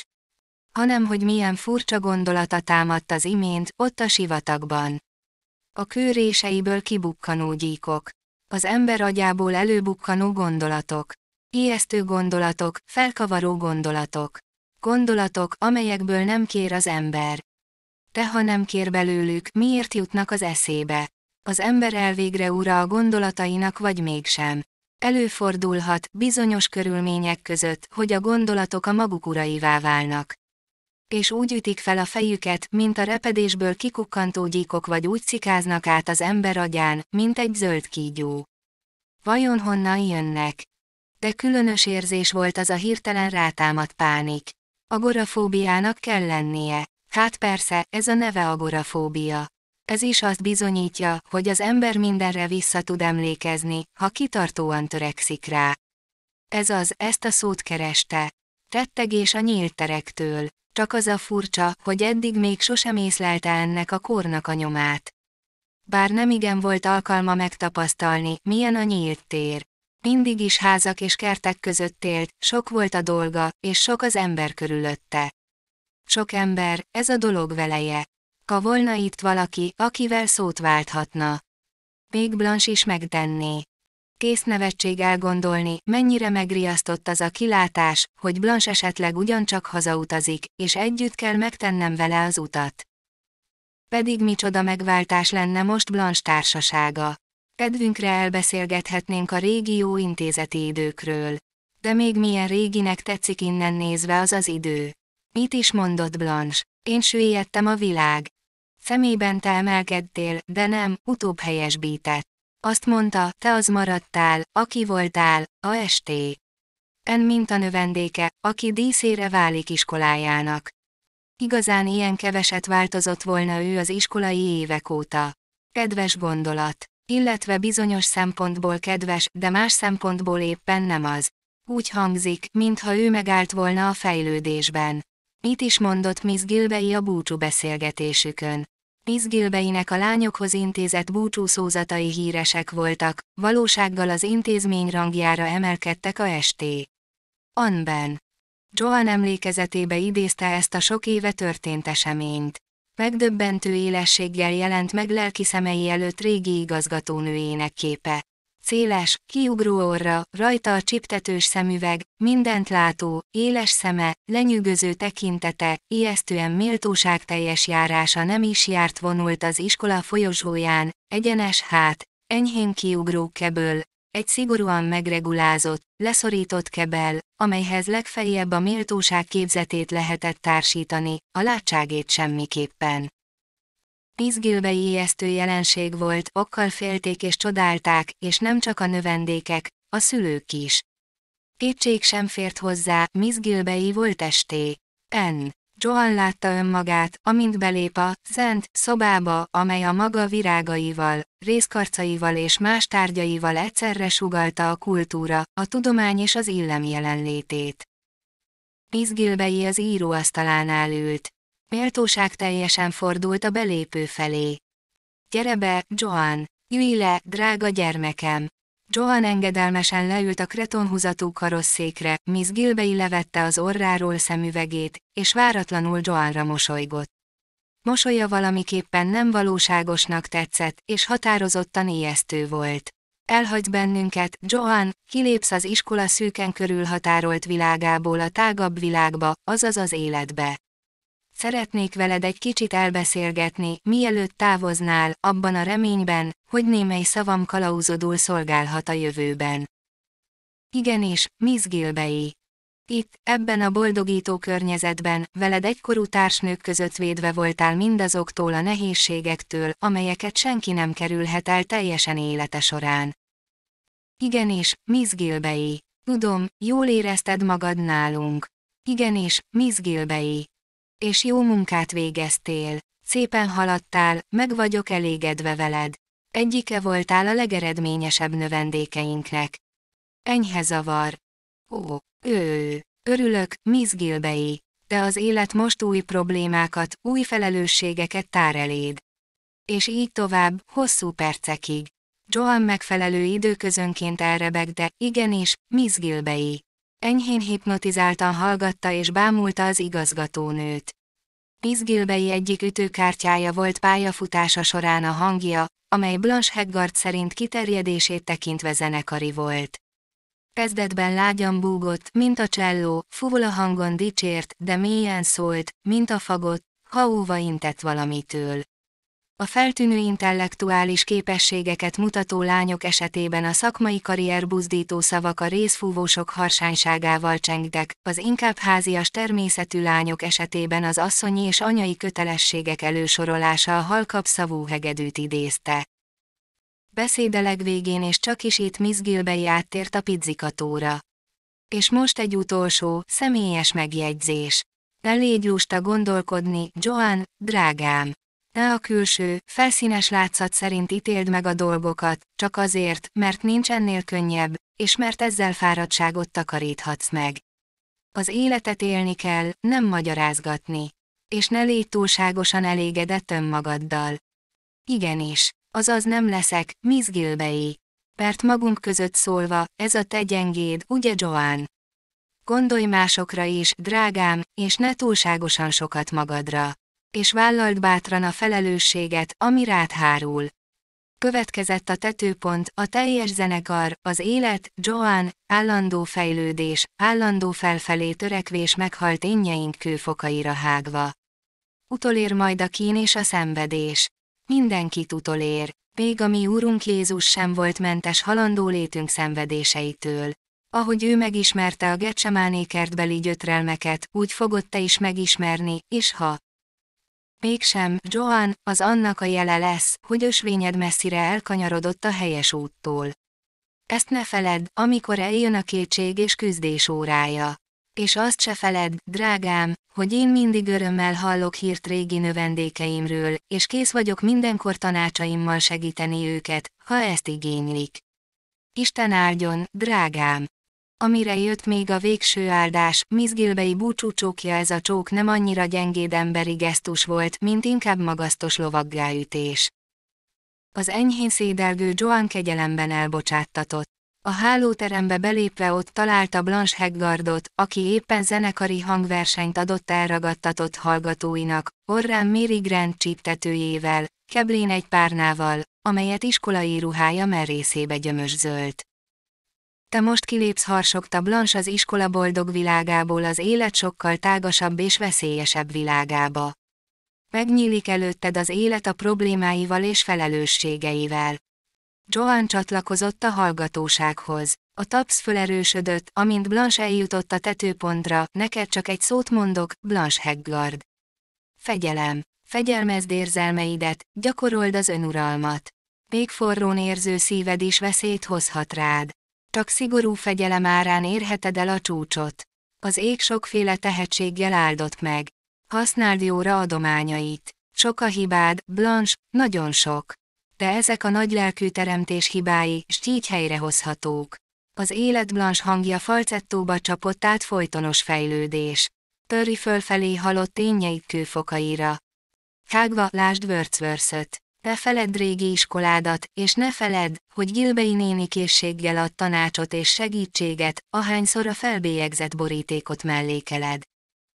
Blanche itt szünetet tartott, de nagy meglepetésére se nevetés, se tapsz nem tört ki. Mindenki mintha sóbálványjá vált volna.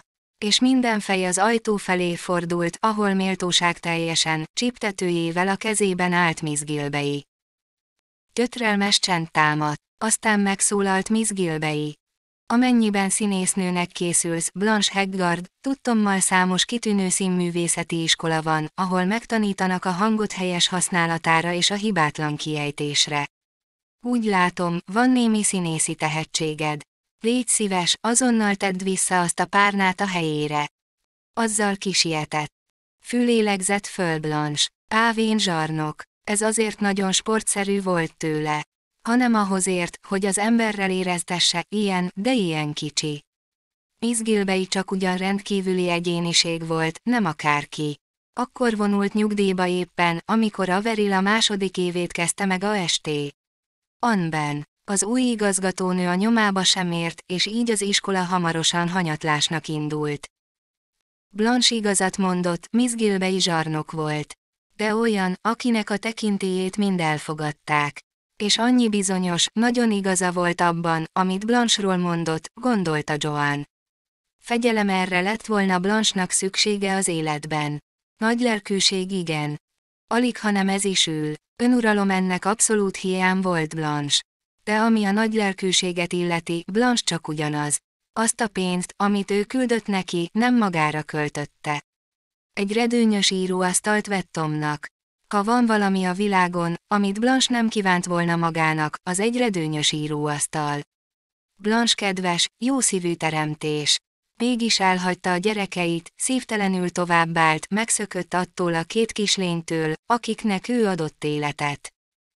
Ez is azt mutatja, hogy vannak nők, akikbe egy csepp anyai érzés sem szorul. Pedig az embernek mindig a gyerekét kell elsősorban figyelembe vennie. Ebben maradéktalanul egyetértett ő meg Rodni. Rodni igazán önzetlen valaki, ha a megfelelő módon tudtára adják, mi a teendő, így például ő elmagyarázta Rodninak, hogy az ő csinos, napos öltöző szobáját át kell alakítani gyerekszobává. Rodney készséggel átköltözött az istálló udvarra néző kis szobába.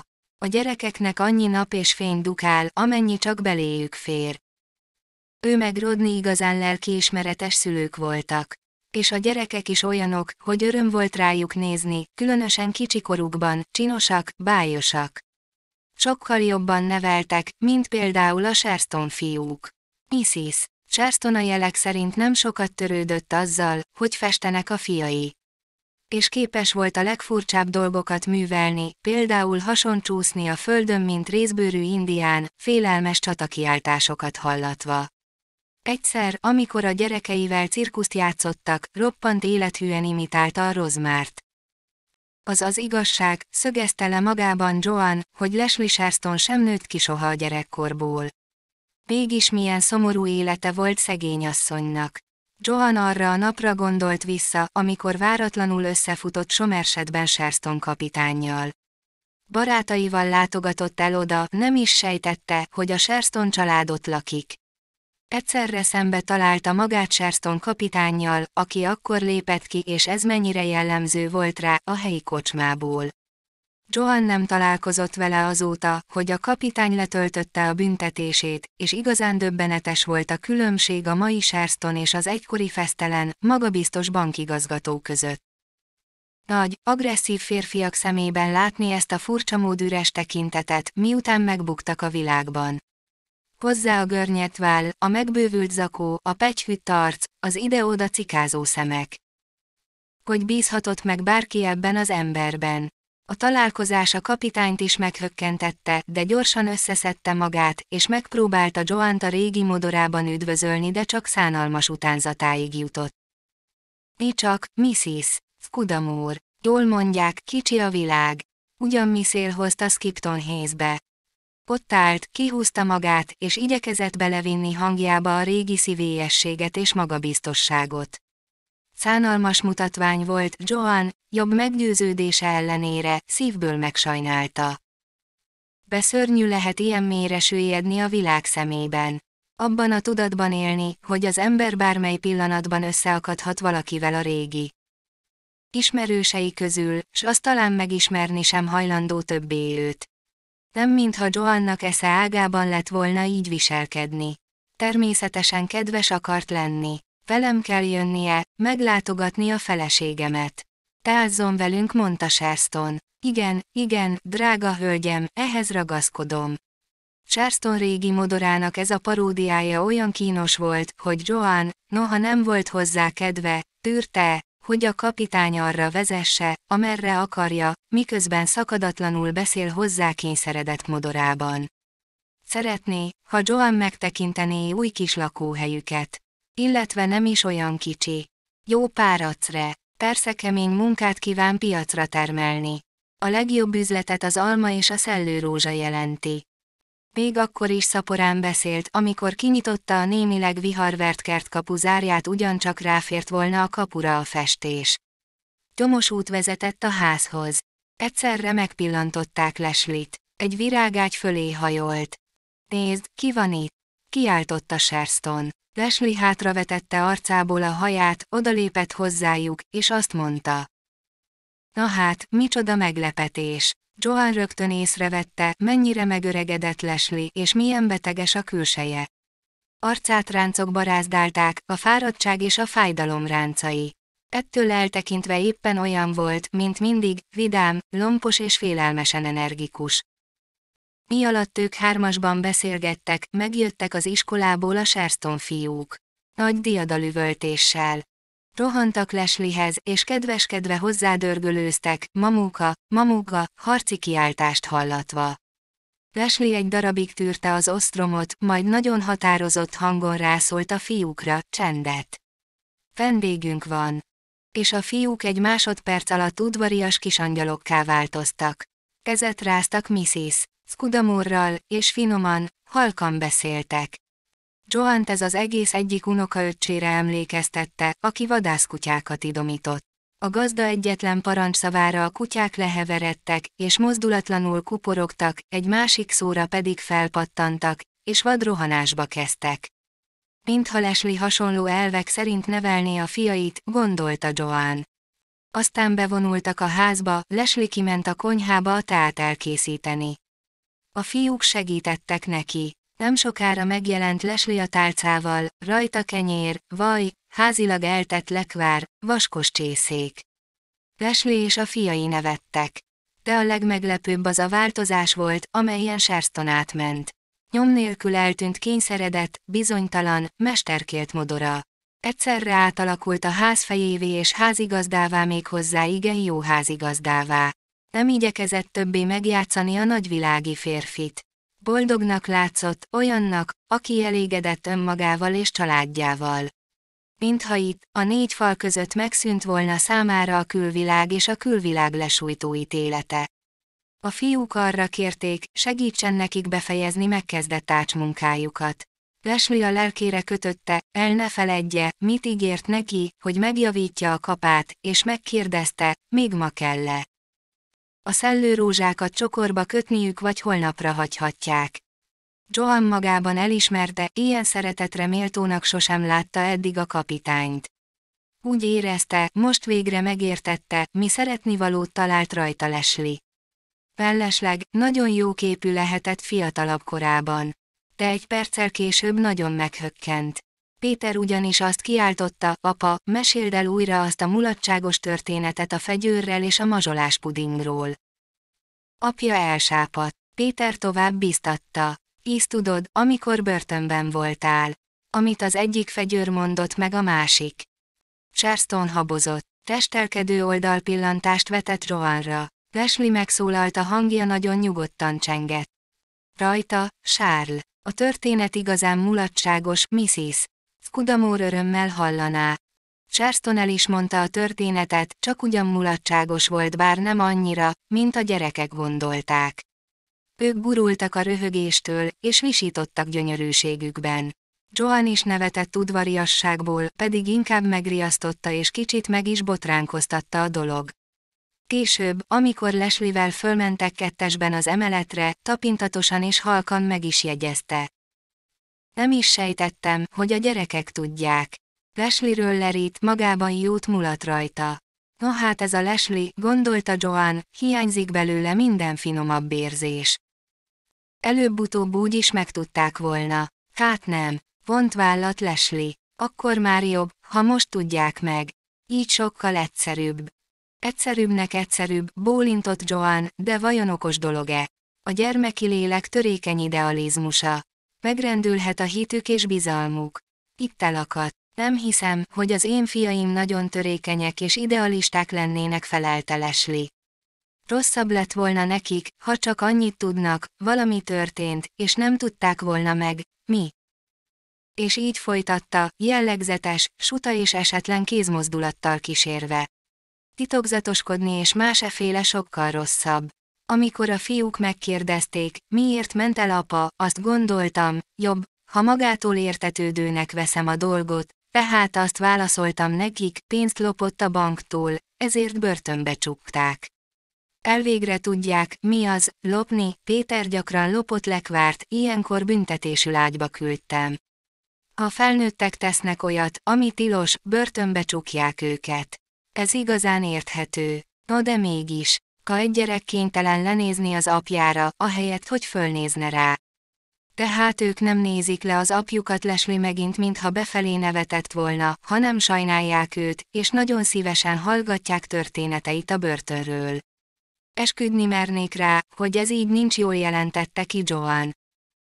Így gondolja, igazán. Leslie kicsit töprengett, de Charlesnak jót tett. Amikor hazajött, úgy szólván a hasán csúszott, mint egy bűnbánó kutya. Ez elviselhetetlen volt. Ezért gondoltam, jobb, ha természetesnek vesszük az ügyet. Elvégre az ember nem tehet úgy, mintha életének három éve nem létezett volna. Jobb, úgy hiszem, ha az ember olyan eseménynek tekinti, mint akármi mást. Hát ez jellemző Leslie Sherstonra, gondolta Joan. Gondatlan, nem törődöm és hiány van minden finomabb érzésnek. Mindig a kisebb ellenállás útját követi. No de ismerjük el, hűséges feleség. Igazán azt gondolom, Leslie, az egyszerűen csodálatos mondta Joan kedvesen, ahogy maga kitartott a férje mellett, és nehéz munkát vállalt magára, hogy fenntartsa a családot, amíg a férje. Fám, távol van, ezt sokszor elmondtuk, Rodni meg én. Befurcsa, féloldalas a mosolya ennek a nőnek. Ezt Joan eddig sosem vette észre. Dicsérete, úgy látszik, zavarba hozta Leslit. Nagyon különös hangon kérdezte, hogy van. Mármint Rodni. Sokat dolgozik, szegény báránykám. Nem győzöm mondogatni neki, ki kéne vennie néha egy-két szabad napot. Az nem olyan könnyű az ő munkája mellett vélte Leslie. Gondolom akár csak az enyém, az övé is egész napos munka. Nem igen lehet szabad napot kivenni mellette. Hát nem, ez nagyon igaz. És Rodni olyan lelkiismeretes. Olyan munka, amelyben nincs megállás. Leslie felállt, az ablakhoz lépett, és hosszan kibámult. Joannak most ötlött a szemébe valami változás Leslie alakján. Leslie ugyan előszeretettel hordott mindig laza és formátlan ruhákat, de ez más. Ó, Leslie kiáltott fel Joan, csak nem. Leslie megfordult, s amikor a pillantása találkozott Joanéval, lassan bólintott. De igen, augusztusban szülök. Szentég. Joanna szíve mélyéig megrendült. És meglepő módon Leslie váratlanul szenvedélyes beszédbe fogott. Most nem volt nem törődöm, se gondatlan. Inkább olyan, mint az elítélt rab, aki védőbeszédet tart. Ez állította talpra sárlest. Ez, hát nem érti. Bajos szóval elmondani, mit jelent ez neki. Valamiféle jelkép. Annak a jelképe, hogy ő nem kitaszított párja, hogy megint olyan minden, mint volt. Még az ivással is megpróbált szakítani, amikor megtudta. És itt Leslie kicsit összeborzongott, mintha már is előrevetné árnyékát az eljövendő baj és kín. Aztán lementek a földszintre. Sherston sietett ajánlkozni, ő majd elkíséri Mrs. Skudamort a sarokig, és megmutatja neki, merre juthat haza a legrövidebb úton, a mezőn átvágva. Joan egy pillantást vetett hátra, mi alatt a kertkapuhoz tartottak, és azt látta, hogy Leslie meg a fiúk egy csomóban hemperegnek a földön, vad örömkiáltásokat hallatva. Leslie úgy hempereg itt a gyerekeivel, mint egy vadállat a kölykeivel, gondolta Joan enyhe utálattal, majd a kapitány felé fordította a fejét, hogy arra figyeljen, amit Sherston mond. A kapitány azt mondta éppen, kicsit kapkodva, összefüggéstelenül, hogy sosem volt, mióta világ a világ, és nem is lesz soha még egy olyan asszony, mint az ő felesége. Azt senki el nem képzelheti, Mrs. Scudamore, mi ő nekem? Nincs rá szó, nincs rá fogalom, nem vagyok méltó rá, ezt tudván tudom. Joan riadtan látta, a kapitány szemét már is elfutotta a könny. Könnyen elérzékenyül ez a Sherston. Mindig egyforma, mindig vidám, mintha azt gondolná, bármi történik is vele, az érdekes és szórakoztató.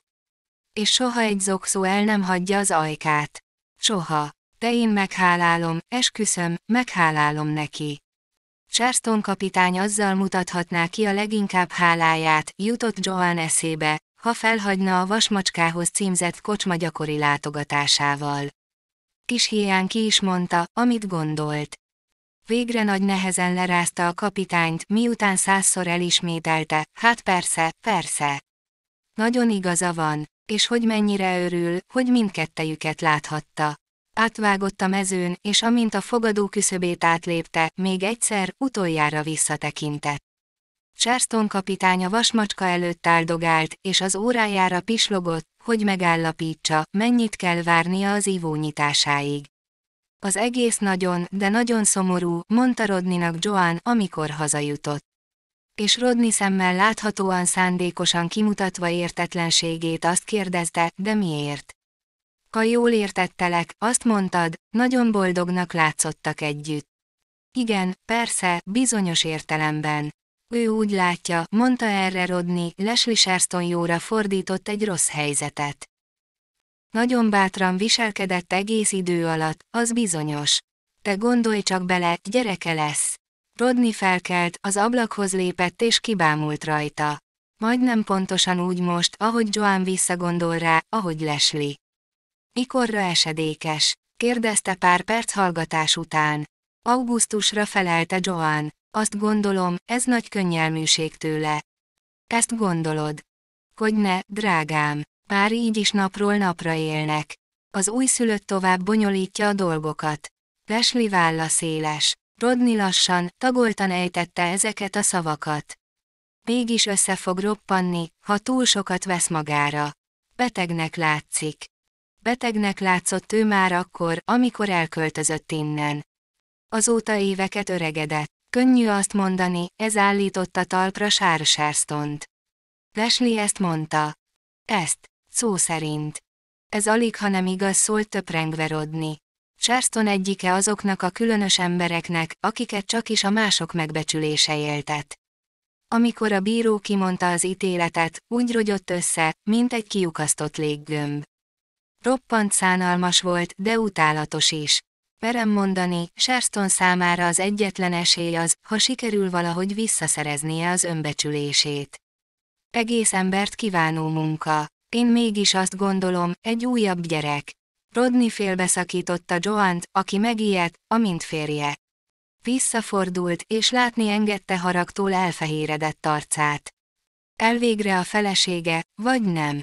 Csak két dolog közül választhatott, vagy faképnél hagyja a férjét, elmegy a gyerekeivel együtt, vagy visszatér hozzá, és a felesége lesz. Leslie ezt választotta, és ő nem csinál semmit fél szívvel. De miért izgatja így fel magát? kérdezte Joan. Nincs rá más oka felelte Rodni, mint az, hogy halálosan unja és utálja azt a józan, megfontolt világot, ahol mindenki kiszámítja, mibe kerül majd, mielőtt lépne, és senki nem vállal kockázatot. Reméli, Rodni nem mond ilyeneket az ügyfeleinek jegyezte meg erre Joan. Rodni vigyorogva rázta meg a fejét. Em, nekik mindig azt tanácsolom, egyezzenek meg peren kívül. Thank you